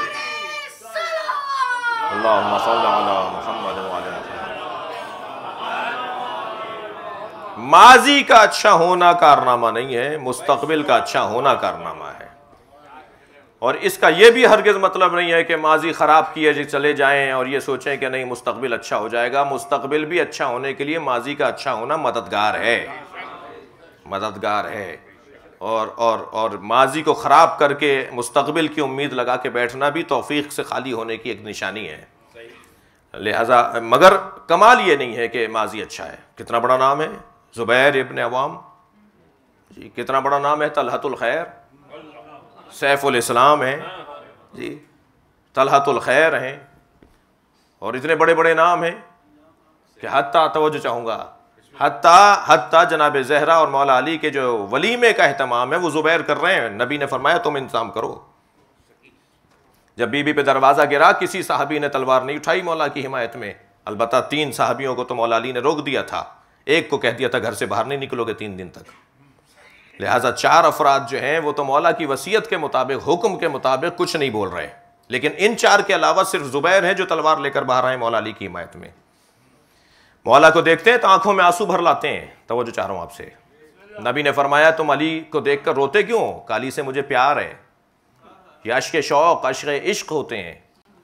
ये जो मेरे आँसू टपकते हैं, अली से मोहब्बत की निशानी है। नबी ने फरमाया, फिर वो कैसा दिन होगा जब तुम अली के खिलाफ तलवार लेकर आओगे? बैठे हुए थे, जुबैर खड़े हो गए, या रसुल्ला मैं अली के खिलाफ तलवार लाऊँगा। हज़रत फरमाया, कुछ तुम्हारा मिजाज, तुम्हारी कुछ आदतें ऐसी हैं, उन्हें तब्दील करो, जो सबब बनेंगी। गौर फरमाए, अजीजो, करबला में जो मारने आए थे, वो शाम वाले भी थे और कूफे वाले भी थे। हुसैन मेरे मौला हुसैन इबन अली को दो लोग मारते हैं। शाम वाले, तवज्जो चाहूँगा, हुब्बे दुनिया की बीमारी में मुबतला थे। और कूफे वाले बुगज अली की बीमारी में मुबतला थे। हुसैन को हुब्बे दुनिया मरवाती है और कत्ल करवाती है या बुगज अली? कुछ सलवात पढ़े जरा मोहम्मद आलम।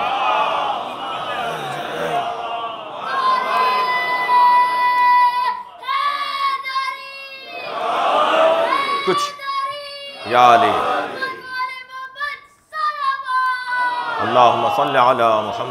मोहम्मद।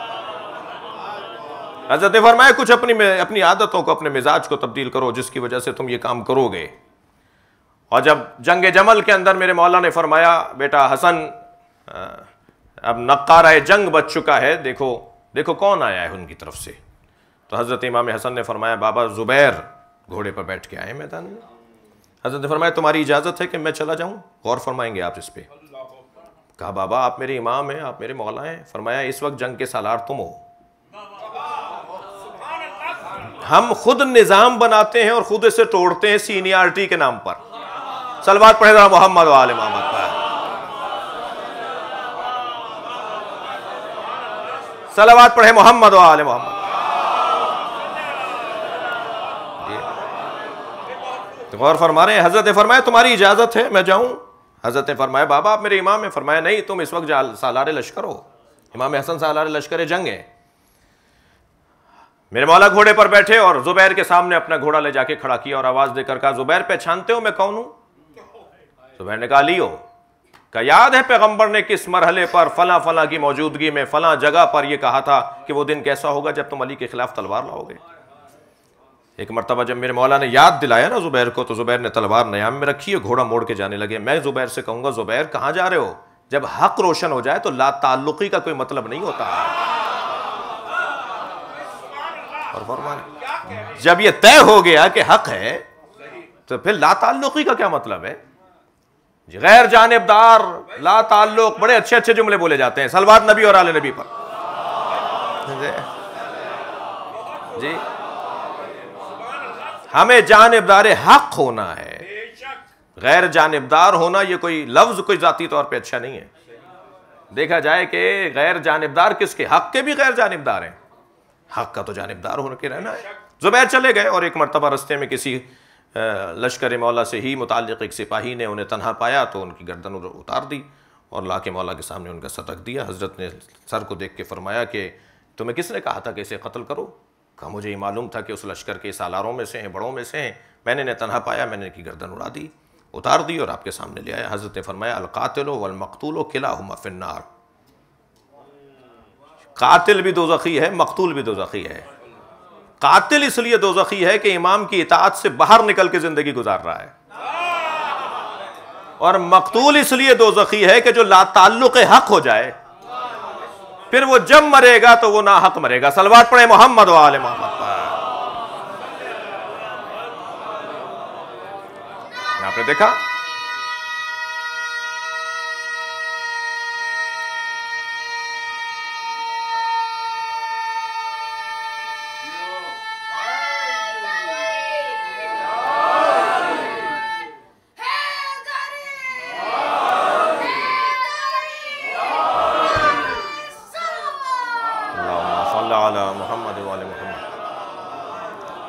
अब आप मुझ पर एक एहसान फरमाइए थोड़ा थोड़ा सा करीब आइए। क्योंकि लोग आखिर तक हो गए हैं और आपका परकंदा बैठना मुझे एक सलवात और हदिया करते हुए कुछ आगे आइए।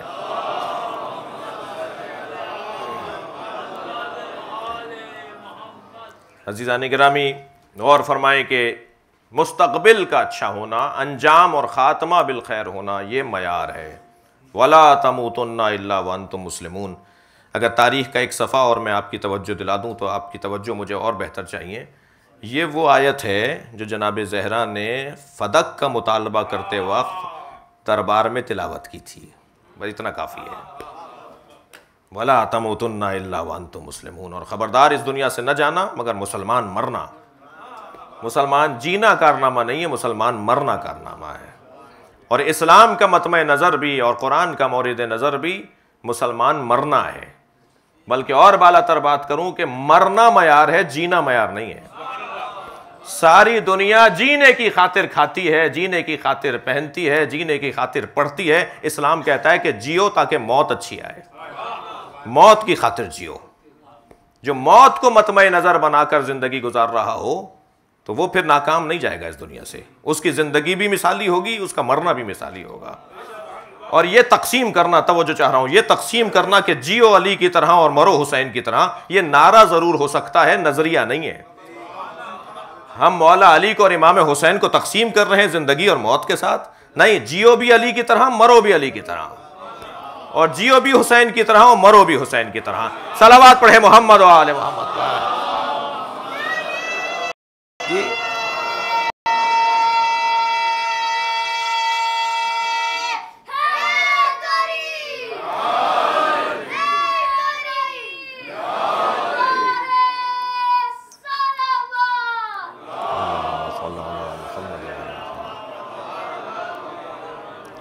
गौर फरमाए, अजीज़ो, आयत का तर्जुमा आपके सामने आया, बयान हो रहा है।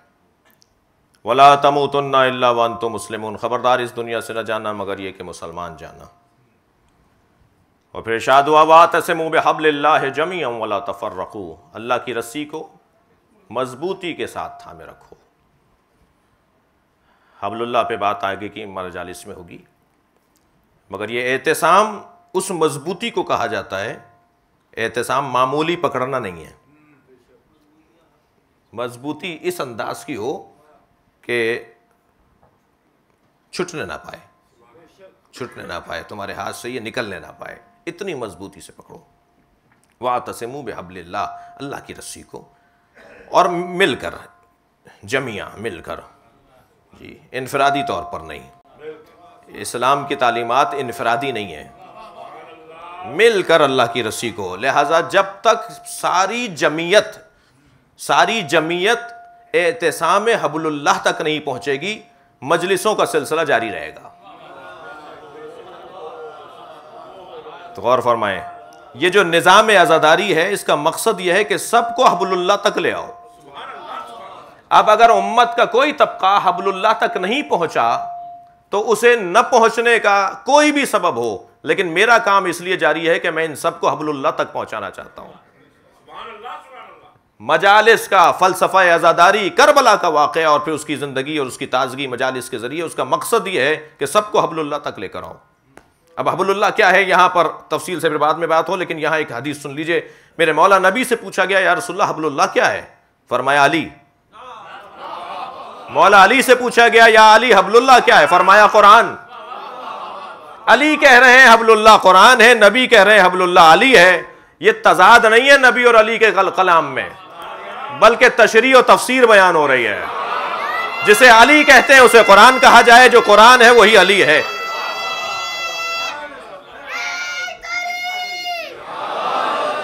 बलंतर सलवा था दिया करें।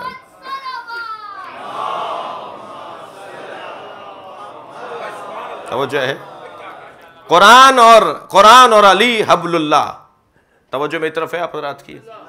देखिए, दो चीज़ों दो चीज़ों को यहाँ हबलुल्लाह कहा गया है। और रस्सी दो रस्सी दो डोरियों के बट जाने को कहा जाता है। अच्छा चौदह डोरियों को बनाना भी वो नहीं है, गलत नहीं है। आप चौदह कर लीजिए या दो कर लीजिए, कुरान और अली कह दीजिए या अहल बैत और कुरान कह दीजिए। ये जब दोनों मिल जाएँगे, जब एक रस्सी बनेगी और ख़बरदार ये तन्हाई के साथ नहीं, सब मिलकर पकड़ो। और फिर कहा कि, वला तफर रखो खबरदार, इस रस्सी के बारे में झगड़ा मत करो। मैंने कल एक हल्की सी, बहुत ही मुख्तसर सी बात की थी कि तर्जुमे में हम उजलत से काम लेते हैं। ये तर्जुमा करना कि वाह तसमूब हबल्ला है जमी वला तफर रखो अल्लाह की रस्सी को मजबूती से थामे रखो और तफर्रक़े में मत पढ़ो इख्तलाफ मत करो। क्यों नहीं करो भाई इख्तलाफ? इख्तलाफ तौर पर बुरा नहीं है इतिहाद तौर पर अच्छा नहीं है। ज़ातन इतिहाद कोई अच्छी चीज़ नहीं है। नबी के मुकाबिल सारे मुशरकिन मुतहिद होकर आ गए थे, कह दीजिए अच्छा हुआ था। इतिहाद कोई अच्छी चीज़ तो नहीं है। वजह इतिहाद देखा जाएगा। और किया आपने? वजह इतिहाद क्या है? क्यों मुतहिद हुए भाई? अगर वो वजह अच्छी है तो इतिहाद अच्छा है। वजह इख्तलाफ देखा जाएगा। क्यों लड़ रहे हैं आपस में? अगर वो लड़ने वाली चीज़ बुरी है, वजह बुरी है तो इख्तलाफ बुरा है। लिहाजा अब ये कहना कि तफर्रखे में मत पढ़ो इख्तलाफ मत करो। इख्तलाफ ना होना तो मुर्दनी है। जहाँ इख्तलाफ नहीं होता, वहाँ हयात नहीं होती, वहाँ ज़िंदगी नहीं होती, वहाँ तरक्की नहीं होती। मीटिंग में बैठे हुए साहब, आपकी राय क्या है? वही है जो इन्होंने फरमाई है। आपकी क्या है? वही है जो इन्होंने फरमाई तो आप तशरीफ़ क्यों लेकर आए फिर? आपके वजूद का मतलब क्या है फिर? अगर इख्तलाफ ना हो तो तहकीक के दरवाजे बंद हो जाएँ। यूनिवर्सिटियाँ बंद हो जाएँ, इदारे बंद हो बंद हो जाएँ, किताबें लिखना बंद हो जाएँ। इख्तलाफ लैलो नहार पे तो अल्लाह दुनिया चला रहा है। इख्तलाफ के बगैर तो ज़िंदगी नहीं है। इख्तलाफ और है जुमला महसूस करें। इख्तलाफ और है झगड़ा और है। इख्तलाफ अगर झगड़े तक जा रहा है तो यह बदतहजीबी है। और तहजीब से दा, के दायरे से निकलना किसी तौर भी काबिल बर्दाश्त नहीं है। इख्तलाफ बराए इसलाह हो इख्तलाफ बराए तामीर हो इख्तलाफ बराए तवज्जो है तरक्की हो इख्तलाफ बराए झगड़ा ना हो। तनाज़ा और तसादुम के लिए इख्तलाफ नहीं है। लिहाजा ये क्या तर्जुमा हुआ कि वाला तफर्रको और झगड़े में मत पढ़ो तफर्रक़े में मत पढ़ो क्यों ना पढ़ो एक आदमी गलत है हम उसे नहीं मानना चाहते। नहीं साहब क्योंकि मुतहिद रहना है तो इत्तहाद तो ज़ाती तौर पर अच्छी चीज़ नहीं है। वजह इत्तहाद। अब तर्जुमा ये होगा तवज्जो आपसे जाऊँगा अब तर्जुमा ये होगा कि वाह तसमू बेहबल्ला जमिया अल्लाह की रस्सी को मजबूती से थामे रखो और रस्सी के बारे में झगड़ा मत करो। यानी अली और कुरान लड़ने का मौजू नहीं है, जुड़ने का मौजू है। सलावाद पढ़े मोहम्मद वाले मोहम्मद पर।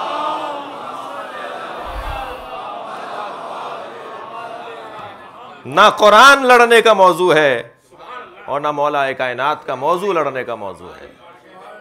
अली अली मौजू तजाद और तसा, तजाहुम और तनाज़ा नहीं है। कोई क्या पढ़ता है, कोई ये पढ़ता है, किसी ने वो पढ़ा है, वो वो ये पढ़ रहे हैं। नहीं अजीज़ा निगरामी ये मौजू लड़ने का नहीं है।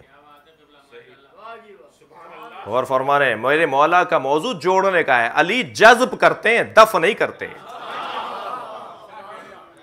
जी। हर एक के पास यह दलील होनी चाहिए, और हम सबको एबन दलील होना चाहिए। सलावात पढ़े मोहम्मद वाले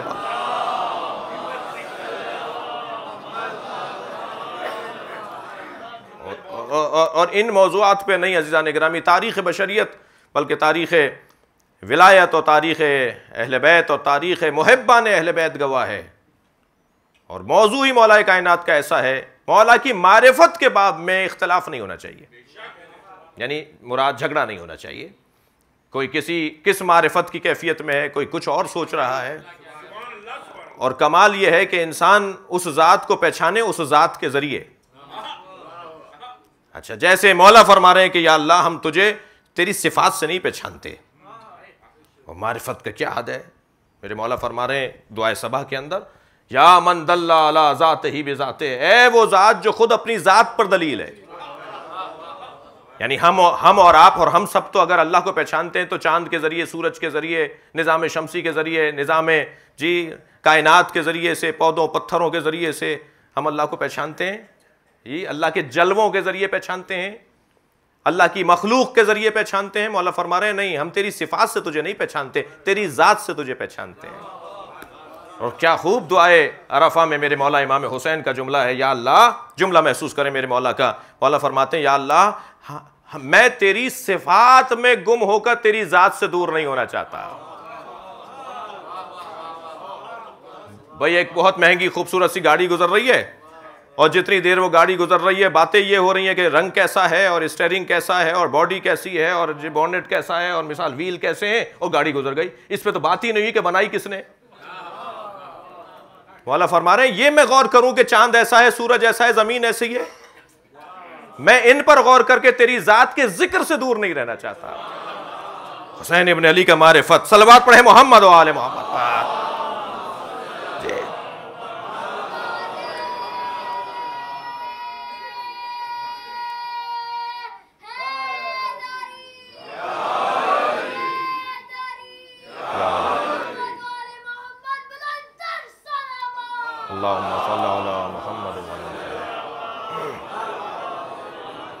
और कुरान का मौजू भी झगड़े का मौजू नहीं है।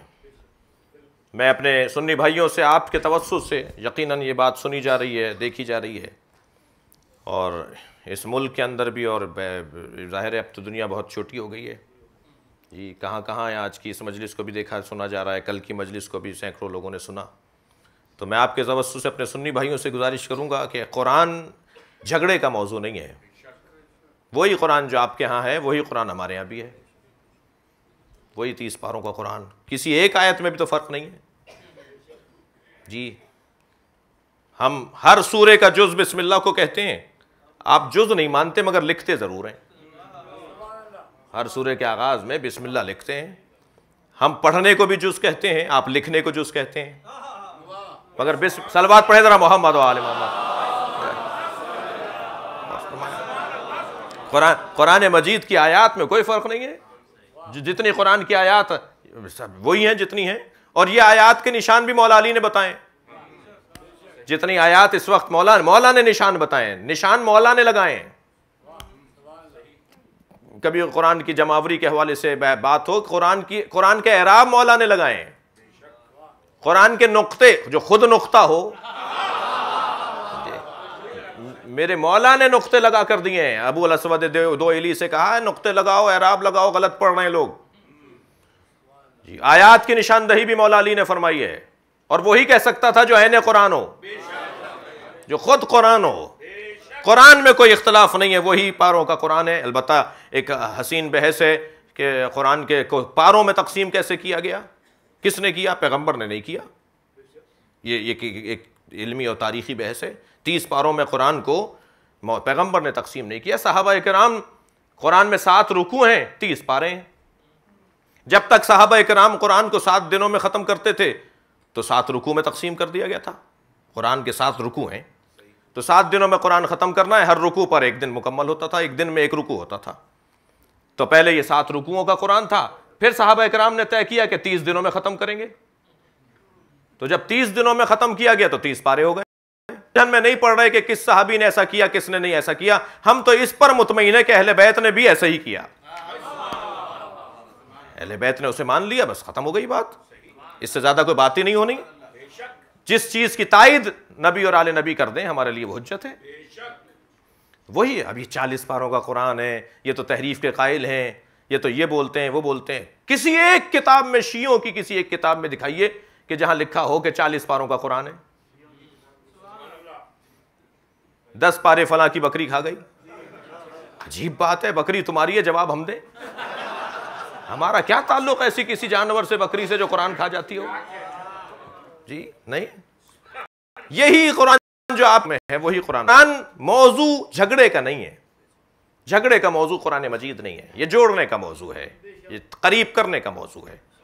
वाह तसमू बेहबल्ला जमी वला तफर रखू और फिर इर्शाद हुआ वद कुरु नमत अलैकुम. और अल्लाह की नेमत को बार बार दोहराओ। अच्छा बार बार दोहराने पर भी एक जुमला सुनते जाइए। बहुत सारे लोगों को है साहब चौदह सौ साल से एक ही बात दोहराए चले जा रहे हो। तो हम सिर्फ़ हम सिर्फ़ करबला को बार बार नहीं दोहराते, हम कुरान को भी बार बार पढ़ते हैं। कुरान की भी वही पुरानी आयतें हैं। और कुरान कह रहा है कि इस इंसान की कमजोरियों में एक कमज़ोरी यह है कि यह भूल जाता है, निसियान का शिकार है। इंसान है ही निसियान से। इंसान को कहते ही इंसान इसलिए है कि यह निस्यान से, भूलने वाला है। इसके मिजाज में भूल पाई जाती है। ये भूल जाता है, दो चार छह दिन पहले की बात भी भूल जाता है। लिहाजा ऐलान हुआ दक्र बार बार दोहराओ, नबी से कहा जा रहा है। नबी के दस काम कुरान में ज़िक्र हुए हैं, सीरत नबी पर बात हो दस काम सरकार के कुरान ने बयान किया कि ये ये काम हमने हमने अपने नबी को दिए हैं। उनमें से एक काम यह है कि बार बार दोहराओ। दक्र बार बार दोहराओ। इन ज़िक्र तनफाउल मोमिन इसलिए कि यह दोहराना मोमिन को फ़ायदा पहुंचाता है। और फरमा रहे वद कुरु नमत अलैकुम। अल्लाह की नेमत को याद रखो। नेमत अल्लाह है। एक नेमत की बात हो रही है। अल्लाह की एक नेमत को याद रखो। तुम आदा अनफ़ा बैन कुलूबकुम। तुम एक दूसरे के दुश्मन थे, हमने तुम्हें एक दूसरे से जोड़ दिया। फसबाह तुम बेनमत ही अखवाना और उसी नेमत की वजह से तुम भाई भाई हो गए। तुम भाई भाई हो गए। और कुन तुम शफा हुफरत मिनन्नार, तुम दो के आखिरी तह के अंदर थे, हमने तुम्हें उसे निकाला है। और इसे बार बार ज़िक्र करो, इसलिए कि इसका बार बार ज़िक्र ना हिदायत अता करता है। अजीज़ा निगरामी अल्लाह हमें कुछ हस्तियों से जोड़ना चाहता है। और जब तक हम उन हस्तियों से जुड़ेंगे नहीं, हम मतलूब कैफियत में तब्दील नहीं होंगे। इंसान जिस माहौल में रहता है, जहाँ उसे भेजा गया है, जिसे हम दुनिया कहते हैं, इस दुनिया का पहला तोहफा तो मैंने बयान किया कि लिबास है। और इस दुनिया की कैफियत यह है कि ये मुसलसल हमें पस्त, जब चीज़ ही पस्त है तो पस्ती में ही लेके जाएगी। दुनिया यानी दनी पस्त, नीचे की जानब जाने वाली जगह।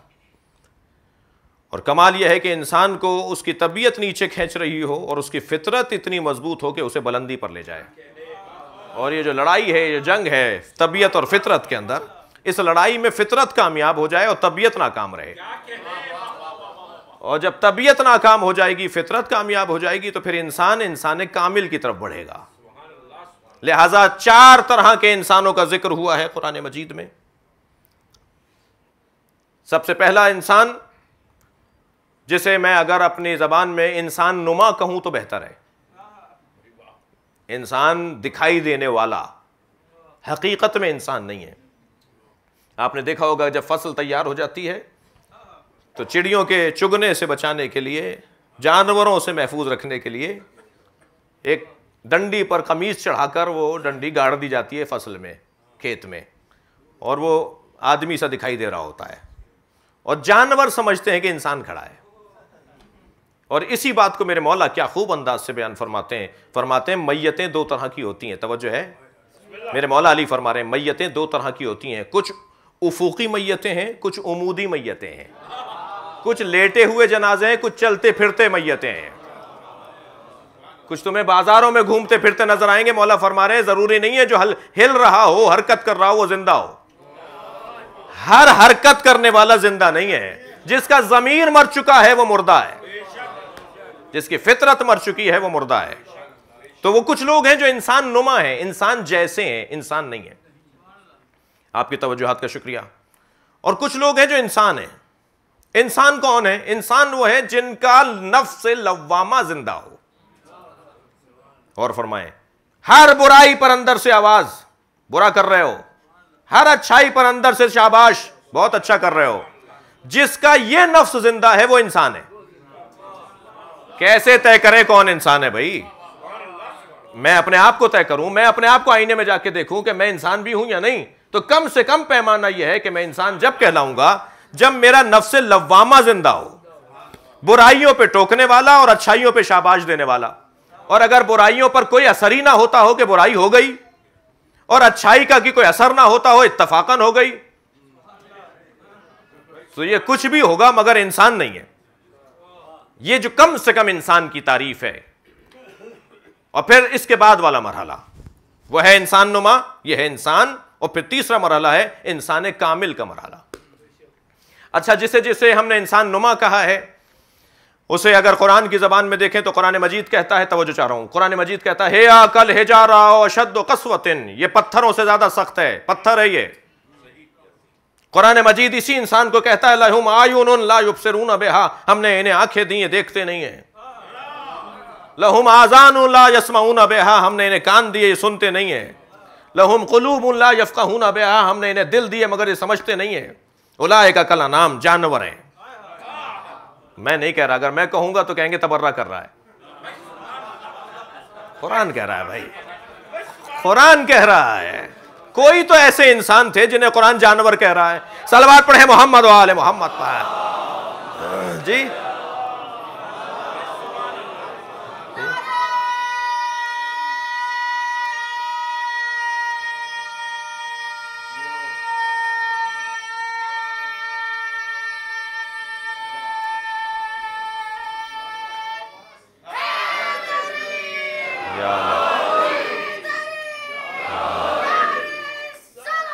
मोहम्मद वाली मोहम्मद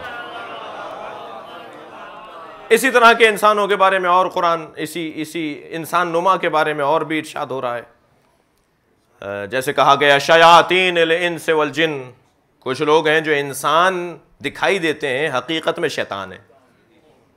अल्लाह ने इसी इंसान को शैतान भी कहा है। तो कभी शैतान कहा है, कभी पत्थर और कहा है, कभी इसे जानवर और जानवर से पस्तर कहा है, ये इंसान नुमा है। और वो जो इंसान इंसान नुमा के अलावा एक इंसान है, और फिर तीसरी किस्म है जो जो इंसान कामिल है। अच्छा इंसान कामिल से भी ऊँचा इंसान है, और वो है इंसान अकमल। बड़ी इनायत। जी, इंसान इंसान कामिल और इंसान अकमल। और और इंसान कामिल किसे कहते हैं और इंसान अकमल किसे कहते हैं? तारीफ़ें हर एक चीज़ की तारीफ़ें हैं। तो इंसान कामिल की और इंसान अकमल की तारीफ़ अगर तमसील के ज़रिए मैं करूँ, अहले अदब तशीफ़ फरमाएँ, तारीफ़ की एक किस्म या तारीफ़ का एक तरीक़ा है तमसील। मिसाल दे दीजिए, तारीफ़ हो जाएगी। तो इंसान कामिल और इंसान अकमल में तमसील ये है कि इंसान कामिल मालिक अश्तर को कहते हैं, इंसान अकमल अली को कहते हैं।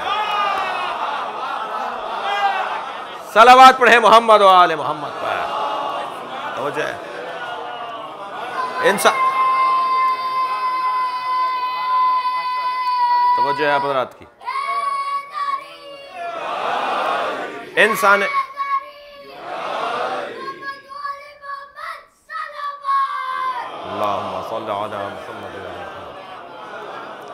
मेरी दुआ है अल्लाह करे बच्चे जल्दी बड़े हो जाएँ। एक साल बाद पढ़े मोहम्मद वाले इस भी सिखाइए ना कि ऐसे नारा लगता है। एक सलवा और पढ़े मोहम्मद वाले मोहम्मद तरबियत गाह तो है ये तरबियत गाह तो है। और इस स्कूल की कैफियत ही कुछ यूँ है कि यहाँ छोटा बच्चा भी बैठा है और बुज़ुर्ग भी बैठे हुए हैं। इस स्कूल में आने के लिए हुब हुसैन का शनाख्ती कार्ड चाहिए, उम्र नहीं देखी जाती है। तो अब एक जानब ये मुश्किल है, दूसरी जानब यह कि बड़े भी तो बताएँ ना कैसे नारा लगता है। एक सलवात पढ़े नबी और आले नबी पढ़ा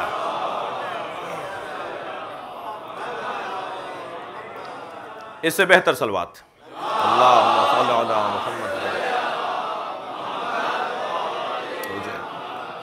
इंसान कामिल और इंसान अकमल।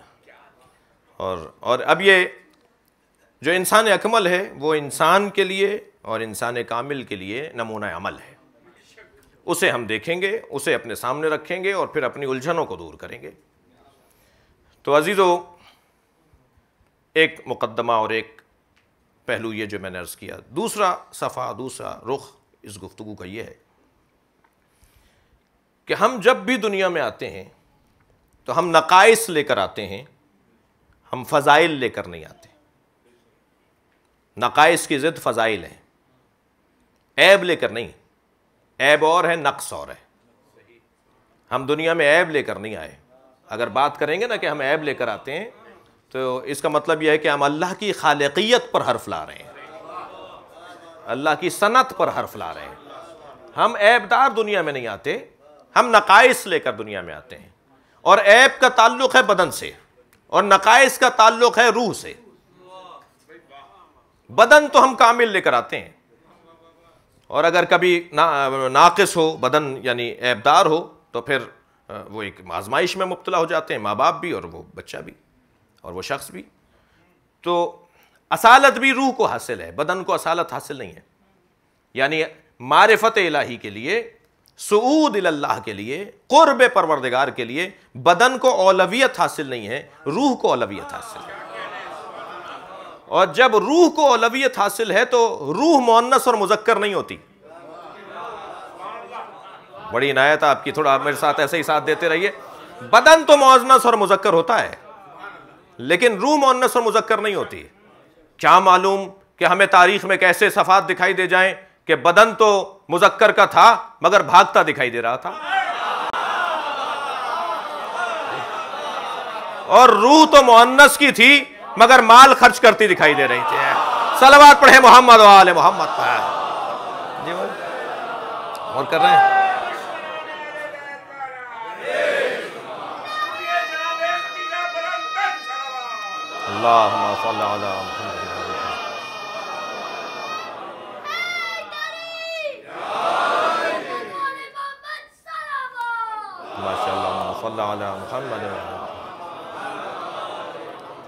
और फरमा रहे हम बदनी तौर पर ऐबदार नहीं पैदा होते लेकिन रूही तौर पर नाकिस पैदा होते रूह हमारी ना, नक्स लेकर आती है कुछ नकाइस बयान करूँगा अब ये नकाइस अल्लाह ने रखे ही इसलिए हैं ताकि तुम उन लोगों को देखो कि जो कमाल लेकर आए और फजाइल लेकर आए वो पैदाइशी तौर पर कुछ लोग हैं जो फजाइल लेकर आए थक तो नहीं रहे ना मेरी बातों से आप? ज़्यादा देर तो नहीं हो रही है। जी। कुछ ऐसी हस्तियाँ हैं कि जो फजाइल लेकर आए हैं। हम फजाइल लेकर नहीं आए। वो कौन सी चीज़ें हैं जो फजाइल हैं? वो कौन सी चीज़ें जो उसकी ज़िद हैं, यानी नकाइस हैं? हम मोटे मोटे चार नक्स लेकर आए बड़ी इनायत। हम चार मोटे मोटे नक्स लेकर आए हैं। जी, उर्दू में मजलिस पढ़ रहा हूँ। मोटे मोटे चार नक्स लेकर आए सबसे पहला नक्स जो हम दुनिया में लेकर आते हैं, वो है जहल। जहालत। हम में से कोई भी डॉक्टर पैदा नहीं हुआ। हम में से कोई भी आलिम अल्लामा मुश्तहिद पैदा नहीं हुआ। हम में से कोई भी इंजीनियर पैदा नहीं हुआ। हम वल्लाखरजकुम मिन बुतून उम्महातिकुम। ला तालमून शया। हमने तुम्हें तुम्हें माँ के शिकम से इस हालत में दुनिया में भेजा कि तुम शय के बारे में नहीं जानते थे। जब दुनिया में हम भेजते हैं तुम्हें तो हमें, हम तुम्हें जहालत के साथ भेजते हैं, यानी नक्स देकर भेजते हैं।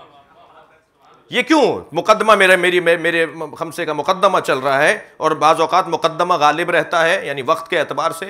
जी? और असली बात दो सफ़ों की हो जाती है। सलवात पढ़े जरा मोहम्मद वाले मोहम्मद पाए जी, हम हम नकाइस, यानी हम जहालत लेकर आए हम, हमें कुछ नहीं पता था। ये जो भूख और प्यास का इल्म है, ये इल्म नहीं है। ये इल्म नहीं है। ये फितरियात में से है। ये तो जानवर का बच्चा भी भूख को समझता है, प्यास को समझता है। जानवर का बच्चा भी वहाँ रागिब होता है कि जहाँ उसे भूख पानी मिल रहा हो, जहाँ उसे गजा मिल रही हो। ये माँ की तरफ़ बच्चे का रागिब होना, ये उसका, ये उसकी फितरी मसला है। ये इल्म नहीं है। तो हम जब दुनिया में आते हैं तो जहल लेकर आते हैं। आहिस्ता आहिस्ता जहल बरतरफ होता है और ये जब नक्स बरतरफ होगा तो फिर इसकी जगह जो आ रहा होगा, वो फजल कहलाएगा। फजाइल फजाइल में एक फजल है इल्म। इल्म एक फजल है। और अजीजा ने ग्रामी, आपकी तवज्जोहात का शुक्रिया। फजल की एक उन्वान इल्म, मुसलसल बढ़ेगा। अब यही मुझे थोड़ी देर रुकने दीजिए कि हम जब दुनिया में आते हैं तो हम नकाइस लेकर आते हैं, यानी जहारत लेकर आते हैं। लेकिन कुछ हस्तियाँ ऐसी हैं, जो माँ की गोद में कहते हैं कि तौरात सुनाऊं, जबूर सुनाऊं, इंजील सुनाऊं या कुरान सुनाऊं। अल्लाह अकबर। अच्छा जब मेरे मौला के बारे में हम ये कहेंगे कि सरकार की गोद में मौला अली ने यह जुमला इरशाद फरमाया तो बहुत सारे लोगों के हलक से नहीं उतरता, लेकिन हज़रत ईसा के बारे में मान लेते हैं। भाई, ये कैसे मुमकिन होगा कि गोद में, नबी की गोद में फरमा रहे तो सबूर सुनाऊं, जबूर, इंजील सुनाऊं, कुरान सुनाऊं? अभी तो कुरान नाजिल नहीं हुआ। जी, मेरे मौला फरमा रहे कुरान सुनाऊं? ये खुद कुरान है भाई। ये एन कुरान है। पता नहीं क्या कहा मोहम्मद हनफिया ने हज़रत इमाम हसन से इमाम हुसैन के बारे में। तो मेरे मौला इमाम हसन ने जवाब जवाब दिया है, वो सुनने का है। और मुस्तनद किताब का हवाला, उसूल काफ़ी का हवाला है। हज़रत फरमाया इन अखिल हुसैन, जुमला सुने मेरे मौला इमाम हसन का, इमाम हुसैन के फ़जाइल में। इन अखिल हुसैन कद आलमुना इल्मन, मेरा भाई हुसैन हम पूरे ख़ानदान में सबसे बड़ा आलिम है। जब इमाम फरमा रहे हैं तो ख़ानदान मुराद है, ख़ुद इमाम उन पर भी इमाम है। वो फिर गुफ्तु नहीं होगी कि ये तखसुसन गुफ्तु में है कि इमाम इमाम हसन उनके भी इमाम है। कद आलमोना इल्मन, मेरा भाई हुसैन हमारे ख़ानदान में सबसे बड़ा आलिम है। वह अकरबोना मिन रसूल रहमा, और रसूलुल्लाह से हम सबसे ज़्यादा करीब है। वह असकलोना, अल्लाह अकबर। वह असकलोना रहमा वह असकलोना हिल्मा, और हिल्म और बुर्दबारी में मेरा भाई सबसे ज़्यादा शकील है। जी। मिजाज में तलवार चलाना नहीं था। ये मिजाज के पाबंद नहीं होते, मशीयत के पाबंद होते हैं। मशीयत क्या कह रही है? ये देखते हैं। ये फरमा रहे हैं, मेरा भाई हिल्म और बुर्दबारी में सकील है। अब इसके बाद के ये तीन जुमले हो गए। इसके बाद चौथा जुमला देखिए, जो मेरा मौजू है गुफ्तु है। हज़रत फरमाते हैं, काना युकरउल वही कबलाई युन तक हुसैन ने कुरान नाजिल होने से पहले कुरान पढ़ लिया था। क्या मतलब है इस बात का? सलवात पढ़े जरा मोहम्मद वाले मोहम्मद पर। अकबर। जी। काना युकरहुल वही कबलाई उन तक। हुसैन इबन अली ने कुरान नाजिल होने से पहले, कुरान के मंतूक होने से पहले उसे पढ़ लिया था। उसके बाद वाला जुमला, काना फकीहन कबलाई युखलक मेरा भाई हुसैन पैदा होने से पहले फकी था। अच्छा लफ्ज़ फ़की जब हम ज़बान पर लेके आते हैं तो हमारे जहन ज़्यादा मानूस हैं मुश्तिन और फ़ुका से। इमाम हुसैन ये वाले फ़की नहीं है। इनका एहसान हमारे पर बहुत है कि ये हमें मसाइल शरिया का हल निकाल कर देते हैं। हमारी ज़िंदगियों की उलझने साल की मेहनत के बाद भी फतवा देते हैं ताकि हम मसले से बाहर आ जाएँ। लेकिन लिखते हैं, वल्लाह आलम। हमारा काम था तुम्हें उलझन से निकालना, लेकिन हकीकत तो अल्लाह जानता है। लेकिन जो हुसैन इबन अली फकी है, वो ये नहीं कहेंगे कि मैं नहीं जानता। मेरे मौला फरमाते, मेरे छठे इमाम फरमाते, हुसैन इबन अली उस फकी को कहा जाता है जो लोहे महफूज को पढ़ता हो। सलावात पढ़े मोहम्मद वाले मोहम्मद अल्लाह अल्लाह तो वो जो है।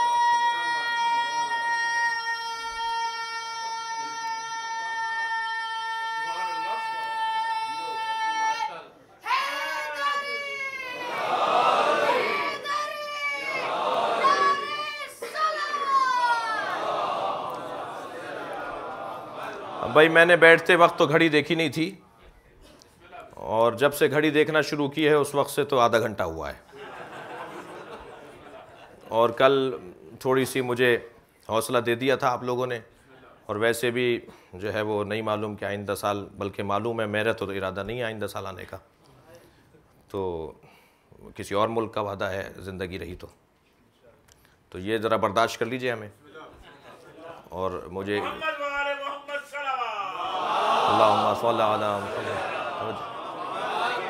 पढ़ लूँ बीस पच्चीस मिनट। जी? अच्छा नहीं, वो आपके, मगर मुझे तो नज़र आ रही है। तवज्जो चाहूँगा आपसे। इल्म। कुछ हस्तियाँ ऐसी हैं, कैसे कह रहे हज़रत हज़रत ईसा क्या कह रहे हैं माँ की गोद में? इन्नी अब्दुल्ला अल किताब वजालनी नबिया। मैं अल्लाह का बंदा हूँ, मुझे किताब देकर भेजा गया है, मुझे नबी बनाकर भेजा गया है। क्या करें इस उम्मत के ऊपर? जो नबी को कहती है, चालीस साल के बाद नबी हुए हैं। हमारे पैगंबर चालीस साल के बाद नबी नहीं हुए, तुम्हें आने में चालीस साल देर लग गई है। तुम्हें समझने में देर हो गई है। वो तो उस वक्त भी नबी थे जब हज़रत आदम का कोई वजूद नहीं था। जी? यानी हज़रत ईसा तो माँ की गोद में नबी हैं। क्या अलमिया है? जी, मुसलमान बच्चों को पढ़ाया जा रहा होता है कि हज़रत ईसा फरमा रहे हैं सुरह मुबारक मरियम के अंदर, कि मैं नबी बनाकर भेजा गया हूँ और हमारे नबी चालीस साल के बाद ले जाए गए माज अल्लाह सीना चाक किया गया। और उसके बाद जो है वो ये हुआ और वो हुआ और फिर उन्होंने कहा कि अब आप तुम ऐलान नबूत कर दो, अब तुम नबी हो। हम एक निजी सरकारी, निजी टीवी चैनल के ऊपर पाकिस्तान में बैठे हुए थे, वहाँ सवाल किया उसने, हमारे होस्ट ने।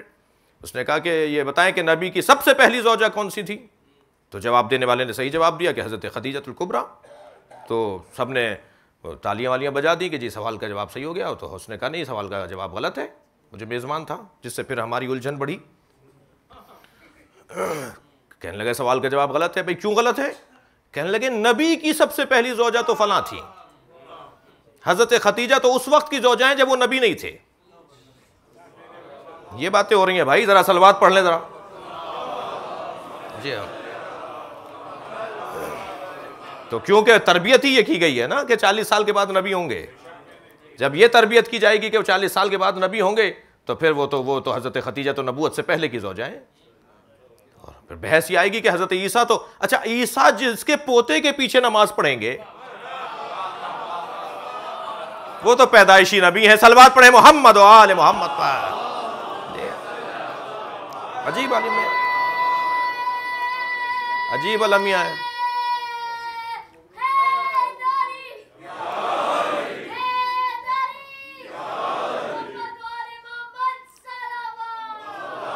अल्लाहुम्मा सल्ली अला मुहम्मद। अब मुझे खौफ ये हो रहा है कि अगर मैं इससे ज़्यादा कुछ कहूँगा तो कहीं कल से सलवात भी बंद ना हो जाए।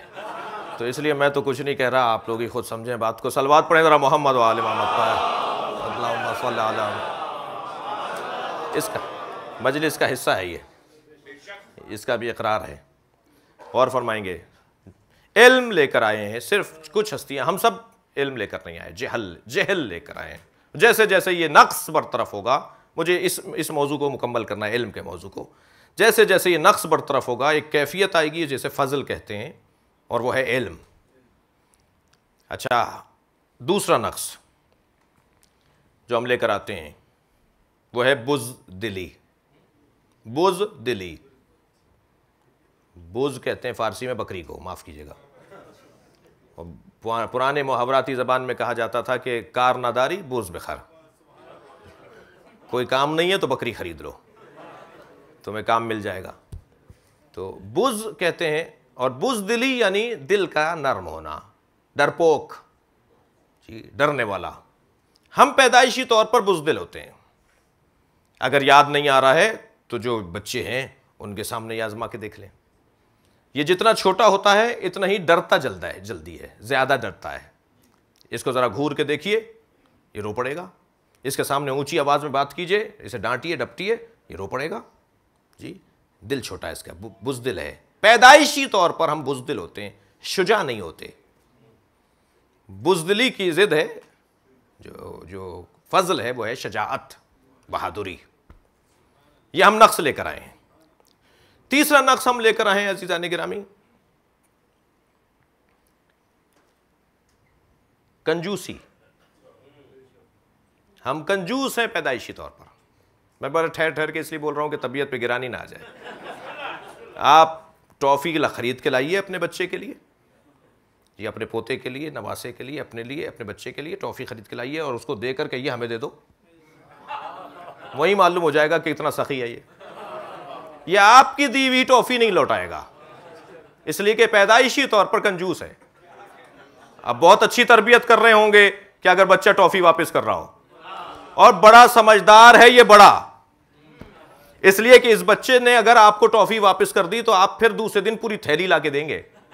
यह तय है कि देने वाला अगर अपनी ही चीज़ देकर मांगे और वापस दे दी जाए तो फिर देने वाला बढ़ा कर देता है।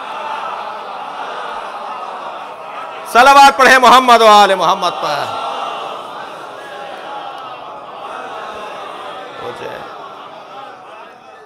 हम पैदाइशी तौर पर कंजूस हैं।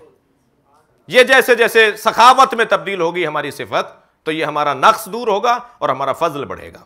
ये तीसरी सिफत है जो हम लेकर आ रहे हैं नक्स के तौर पर। चौथी सिफत है, बेगैरती। पैदाइशी तौर पर हम गैरत से दूर हैं। और गैरत की जिद है इज़्ज़त। हम पैदाइश तौर पर इज्जतमंद नहीं है। जी, जैसे माँ ने छोड़ दिया, वैसे ही पढ़ें।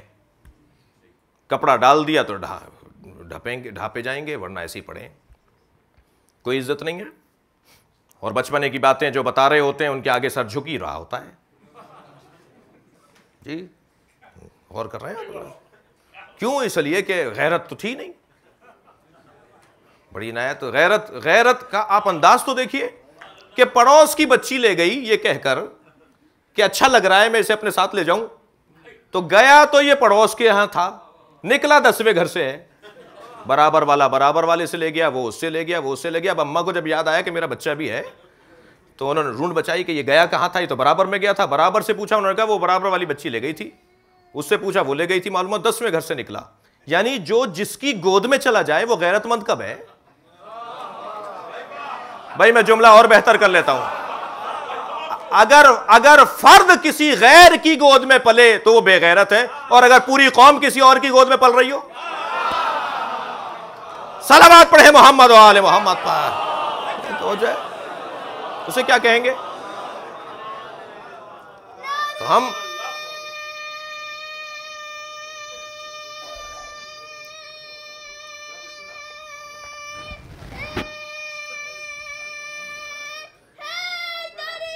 या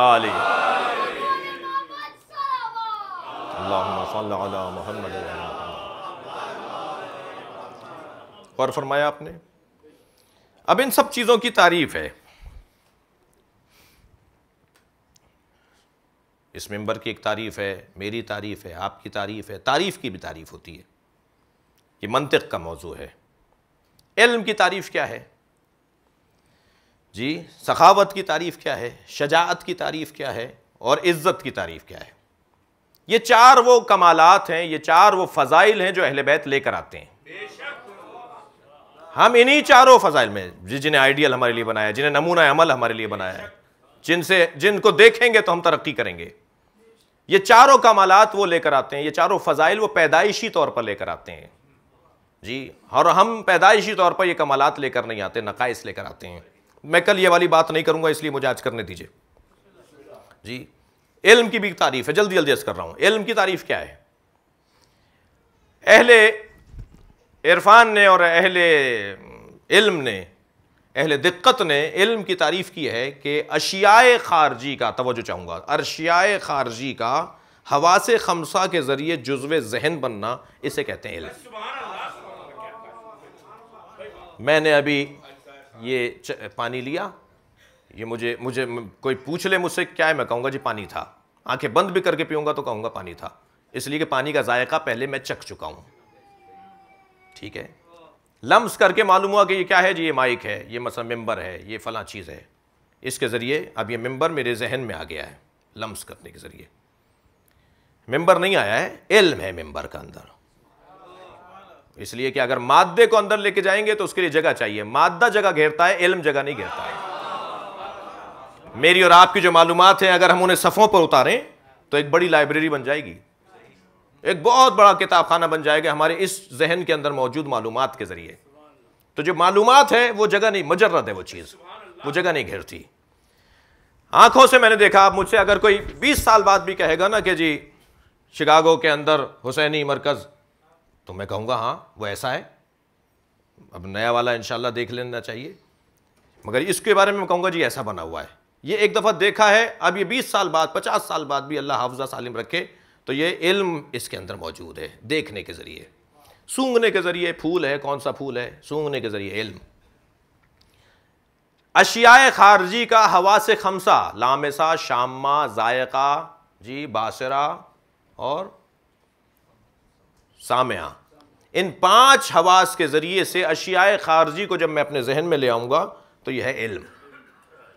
अच्छा इल्म जब इन पाँच के ज़रिए अंदर जाता है तो बाहर किस तरह निकलता है? अंदर तो जाता है पाँच चीज़ों के ज़रिए। बाहर निकलने के लिए इसे दो चीज़ों की ज़रूरत है। कलम और ज़बान। या कलम से बाहर निकलता है या ज़बान से बाहर निकलता है। मगर अजीब बात है कि किसी नबी ने भी कोई किताब नहीं लिखी। किसी इमाम ने कोई किताब नहीं लिखी। पैगंबर ने तो सारी ज़िंदगी कलम को हाथ ही नहीं लगाया। बड़ी इनायत, आप पढ़वाएँगे तो पढ़ूँगा भाई मैं। हम हम हम पढ़वाने से पढ़ते हैं। जी। पैगंबर ने दो चीज़ों को कभी हाथ नहीं लगाया, तलवार को और कलम को। तलवार का हाथ ना लगाना तो समझ में आता है, जो रहमतुल्लिल आलमीन हो, वो तलवार को हाथ नहीं लगाता। लेकिन कलम को हाथ क्यों नहीं लगाया? पैगंबर ने कलम को इसलिए हाथ नहीं लगाया, अल्लाह अकबर, मेरी ज़रूरत थी, हमारी ज़रूरत थी कि पैगंबर कलम को हाथ ना लगाएँ। उम्मी का मतलब अनपढ़ नहीं है। उम्मी का मतलब है असली। जैसे थे वैसे ही हैं। किसी में ज़रूरत ही नहीं थी कि इनके इल्म में इजाफा करता। गौर नहीं किया रात ने। उम्मी का मतलब है जैसे थे वैसे ही। असली जैसे थे वैसे ही। कहीं कोई यहाँ था ही नहीं जो इनके इल्म में इजाफा करता। अच्छा पैगंबर ने तो कभी नहीं फरमाया, मगर मौला अली ने तो फरमा दिया ना, मन अल्लामनी हरफन फ़कत सैरनी अबदा। जिसने मुझे एक हर्फ सिखाया, मैं उसका गुलाम हो जाऊँगा। किसी में ज़रूरत है तो अली को एक हर्फ सिखाए। इसका यह मतलब भी तो है कि कोई है ही नहीं जो मुझे एक हर्फ सिखाए। मैं गुलाम होने को तैयार हूँ। कोई है ही नहीं हमसे ज़्यादा आलिम। उम्मी का मतलब है असली, जैसे थे वैसे ही। और जैसे थे वो कैसे थे? अल्लाह अकबर। जो खुद अल्लाह का कलम हो नून वल कलम वमा यस्तरून। नून कसम है कलम की और उन सत्रों की, जो कलम के ज़रिए से लिखी जाती हैं, जो खुद अल्लाह का कलम हो। उसने कलम कभी हाथ नहीं लगाया। मुझे खौफ हो रहा है, एक बात की मजलिस याद आ गई कि आज दूसरी मजलिस भी है। तो मैं इस बात को यहाँ मंजिल दे देता हूँ, अगर आपने याद दिलाया तो कल बात हो कि पैगंबर ने कलम क्यों नहीं हाथ में लिया कभी? नहीं लिया कभी कलम हाथ में? सुलह उदैबिया के मौके पर फरमाया, अली, तुम लिखो। जी। पाकिस्तान के एक बहुत मरूफ स्कॉलर हैं, वो कहते हैं कि जी, क्या गुस्सा है आपको शीयों को कि कागज़ और कलम नहीं दिया? जी, अली के पास होता था कागज़ और कलम। तो आप किसी और से नाराज़ हो रहे हैं, अली पर नाराज़ हो माजल्ला क्यों नहीं दिया अली ने? कल बात होगी। सलवार पढ़े ज़रा मोहम्मद वाले जी हमने जा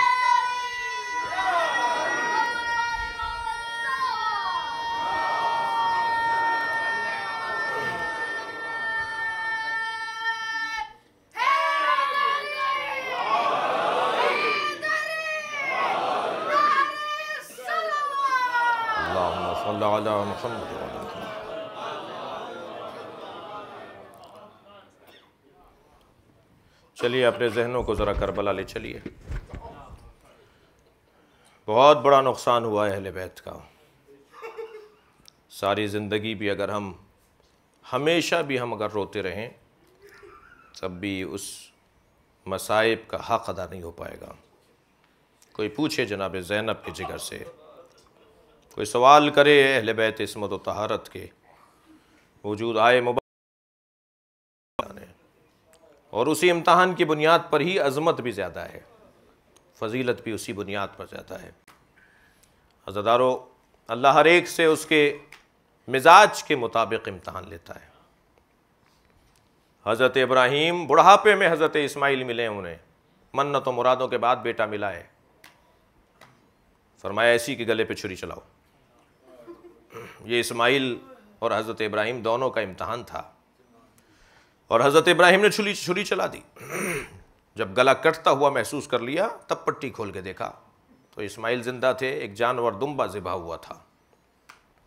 मगर इब्राहिम को कहा, इब्राहिम, तुम्हारी कुर्बानी कबूल है? वह फ़दह ना हो बिज़ बेनाजीम हमने तुम्हारी इस कुर्बानी को एक बड़ी कुर्बानी पर मौखर कर दिया है।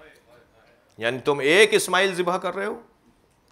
वहाँ एक इस्माइल नहीं होगा। वहाँ बहुत से इस्माइल होंगे जो उस वक्त का इब्राहिम ज़िबा कर रहा होगा। उन्हें गले लगा रहा होगा, उनके लाशें उठा उठा के रख रहा होगा। अल्लाह अल्लाह, बाए बिस्मिल्लाह पे दर, मानिए ज़िब अज़ीम आमद पे सर। इस अंदाज से इमाम हुसैन ने अपने इस्माइलों को ज़िबा किया है। हज़रदारों जब आए हैं ना, इमाम हुसैन ने लाशें तो करबला के तमाम शहीदों के उठाए हैं। और उन लाशों को तो बहुत अहतमाम के साथ हुसैन ने उठाया है, जिनका कोई नहीं था।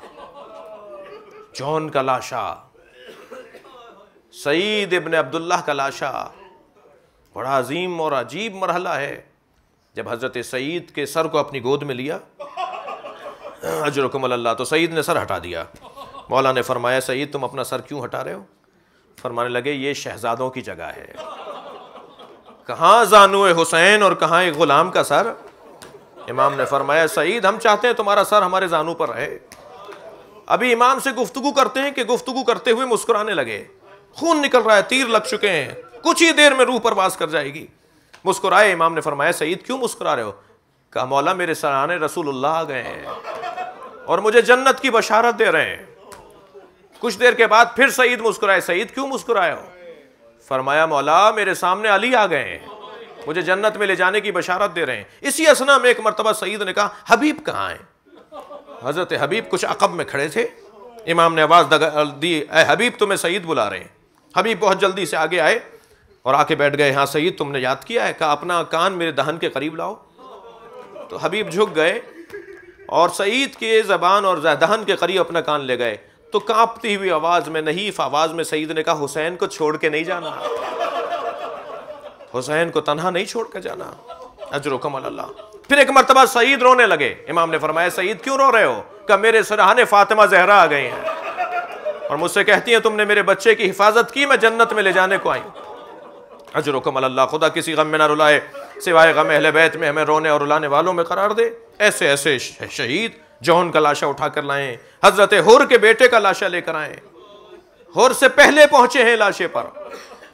अल्लाह अकबर। मगर अजादारों, उन लाशों में तीन लाशें ऐसे हैं, जिन लाशों के उठाने पर इमाम हुसैन की आँखों से आँसू थमते नहीं थे। उनमें एक लाशा तो ऐसा है जो हुसैन उठाकर नहीं लाए, इसलिए कि वसीयत यह है, मेरा लाशा छोड़ जाइए। मौला, मेरा लाशा खेमे ना ले जाइएगा। अजरकुम अल्लाह, और वो लाशा, हज़रत अब्बास का लाशा है।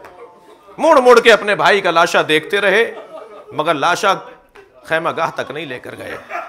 मैं तो कहता हूँ, आप रो रहे हैं, मैं तो कहता हूँ, हज़रत अब्बास का अलम ही अब्बास का लाशा था। जिस पर जनाब सकीना ने जो बयान किए हैं, जो फरियादें किए हैं, दूसरा लाशा है जो इमाम हुसैन उठाकर लाए हैं। बहुत आसान है ये कह देना कि हुसैन लाशा उठाकर ले आए। मगर कोई कल्ब हुसैन से पूछे कि अली अकबर का लाशा कैसे उठाया जाता है। मेरे मौला ने लाशा उठाया अपने बच्चे का, मगर छह मरतबा ज़मीन पर रखा है।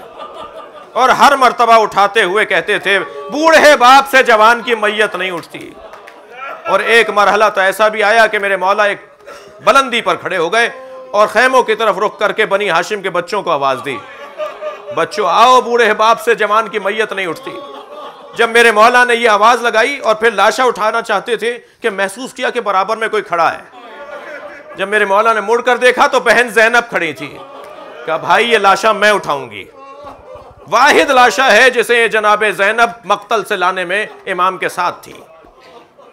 ये लाशा भी बड़ा सख्त था। और सुनेंगे अजादारों, एक और लाशा भी है जो इमाम हुसैन लेकर आए हैं। लाशा बहुत छोटा है, मगर हुसैन से उठता नहीं है।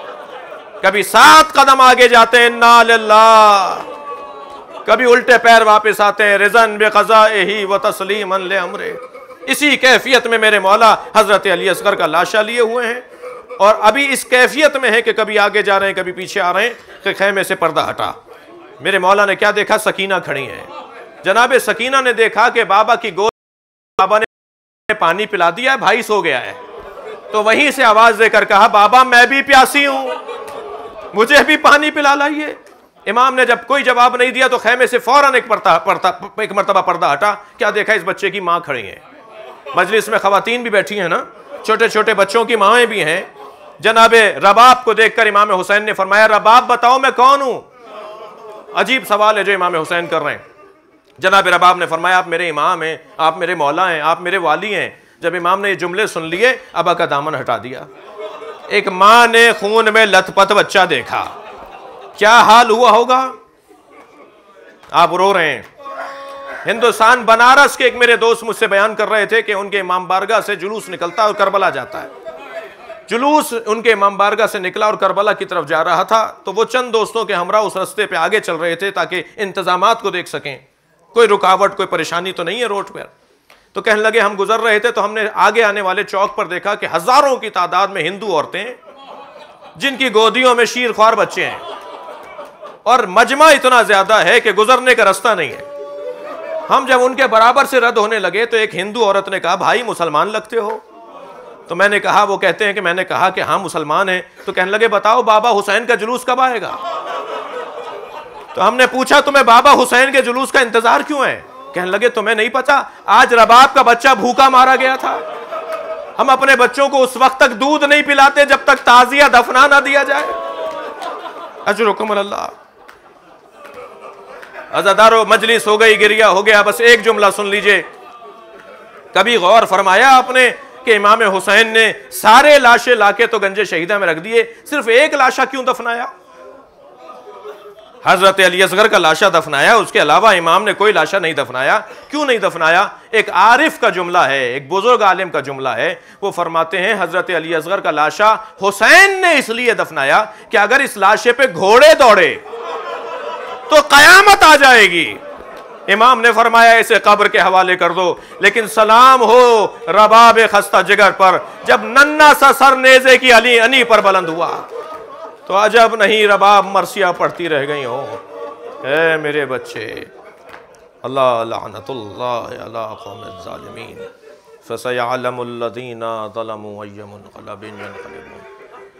इन आवाज़ों पर रहमत नाजिल फरमा। रोने वालों के तोफ़ीक़ात में इजाफ़ा फरमा। इमाम ज़माना के जहूर में ताजील फरमा। मातम हुसैन, या हुसैन या Hussain.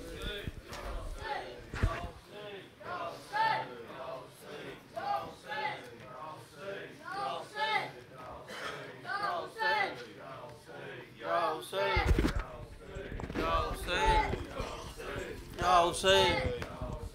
Ya Hussein. Ya Hussein. Ya Hussein. Ya Hussein. Ya Hussein. Ya Hussein. Ya Hussein. Ya Hussein. झूला तेरा खाली है परेशान है मदर झूला तेरा खाली है, परेशान है मदर। झूला तेरा खाली है, परेशान है मदर। झूला तेरा खाली है, परेशान है मदर। मैं हाथों को फैलाती हूँ। मैं हाथों को फैलाती हूँ। आजा असगर झूला तेरा खाली है। परेशान है मदर। झूला तेरा खाली है। परेशान है मदर। नाजुक है गला तेरा तो प्यासा भी बहुत है। नाजुक है गला तेरा तो प्यासा भी बहुत है। आ पेश करूँ तुझको मैं, अशकों का समंदर आ पेश करूँ तुझको मैं अशकों का समंदर मैं हाथों को फैलाती हूँ, मैं हाथों को फैलाती हूँ। आजा लियस गए तेरा खाली है, परेशान है मादर। झूला तेरा खाली है परेशान है मादर। अब रात हुई लौट के, घर क्यों नहीं आया? अब रात हुई लौट के, घर क्यों नहीं आया? जंगल है, बयाबान है, रोना नहीं डर कर जंगल है, बयाबान है रोना नहीं डर कर मैं हाथों को फैलाती हूँ, मैं हाथों को फैलाती हूँ।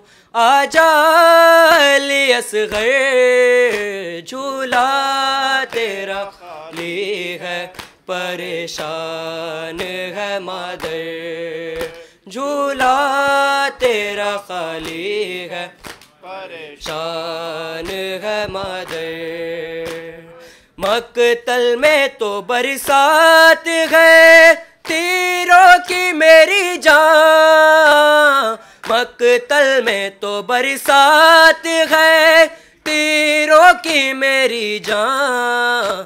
पानी तुझे तीरों से पिलाएँगे सितम गए पानी तुझे तीरों से पिलाएँगे गए मैं हाथों को फैलाती हूँ, मैं हाथों को फैलाती हूँ। आजा लियस गए चूल्हा तेरा खाली है। परेशान है मादर, झूला तेरा खाली है, परेशान मैं हाथों को फैलाती हूँ, मैं हाथों को फैलाती हूँ आजा लियस गए झूला तेरा खाली है परेशान है मदर, झूला तेरा खाली है।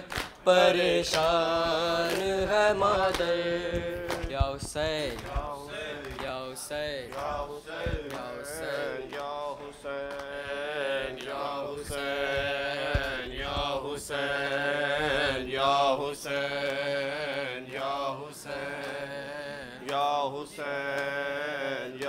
Hussein, Ya Hussein, Ya Hussein, Ya Hussein, Ya Hussein, Mohammad का घराना करबला वाले बयाबा में मोहम्मद का घराना करबला वाले बयाबा मोहम्मद का घराना करबला वाले बयामा में मोहम्मद का घराना करबला वाले बयामा में कयामत की फिजा छाई है जारा।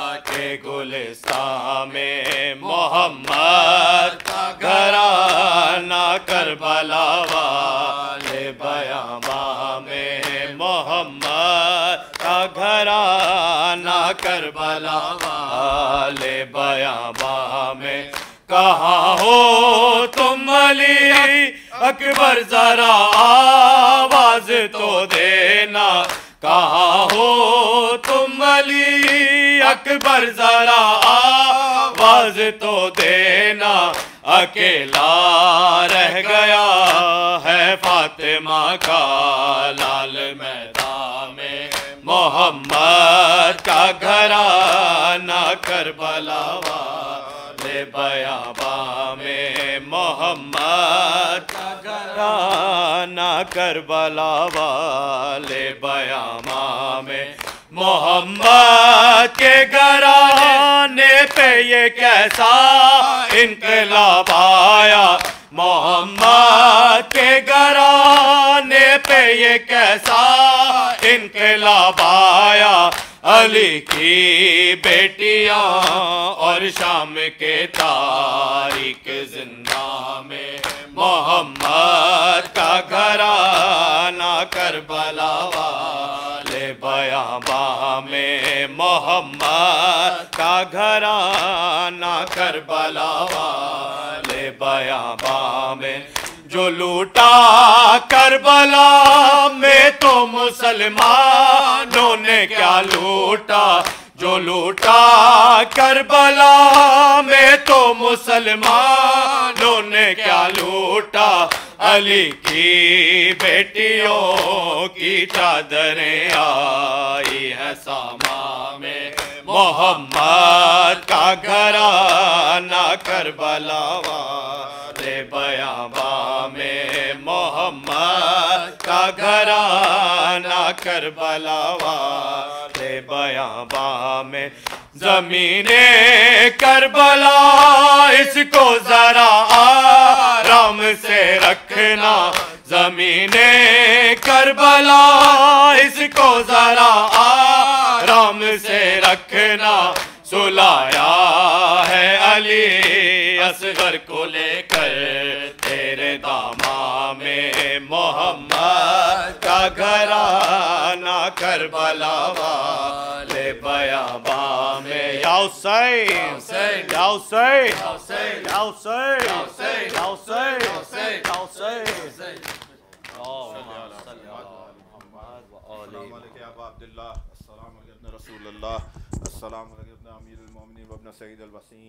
या हुसैन या हुसैन या हुसैन या हुसैन या हुसैन अस्सलाम गरीब अलगरबा अस्सलाम मोइन ज़फ़ा वफ़र सुल्तान अबुलहसन अली अपना मूसा रज़ा व रहमतुल्लाह वबरक अस्सलाम मौला साहिब असमान अलमान अलमान अलमान अस्सलाम शरीक अलकुरान अस्सलाम इमाम इंसवलजान अजल्ला फ़रज वसल मखरज व ज़हूरत जालना में आवान को अस्सलाम अहल बैत नबू जमी रहमतुल्लाह वबरक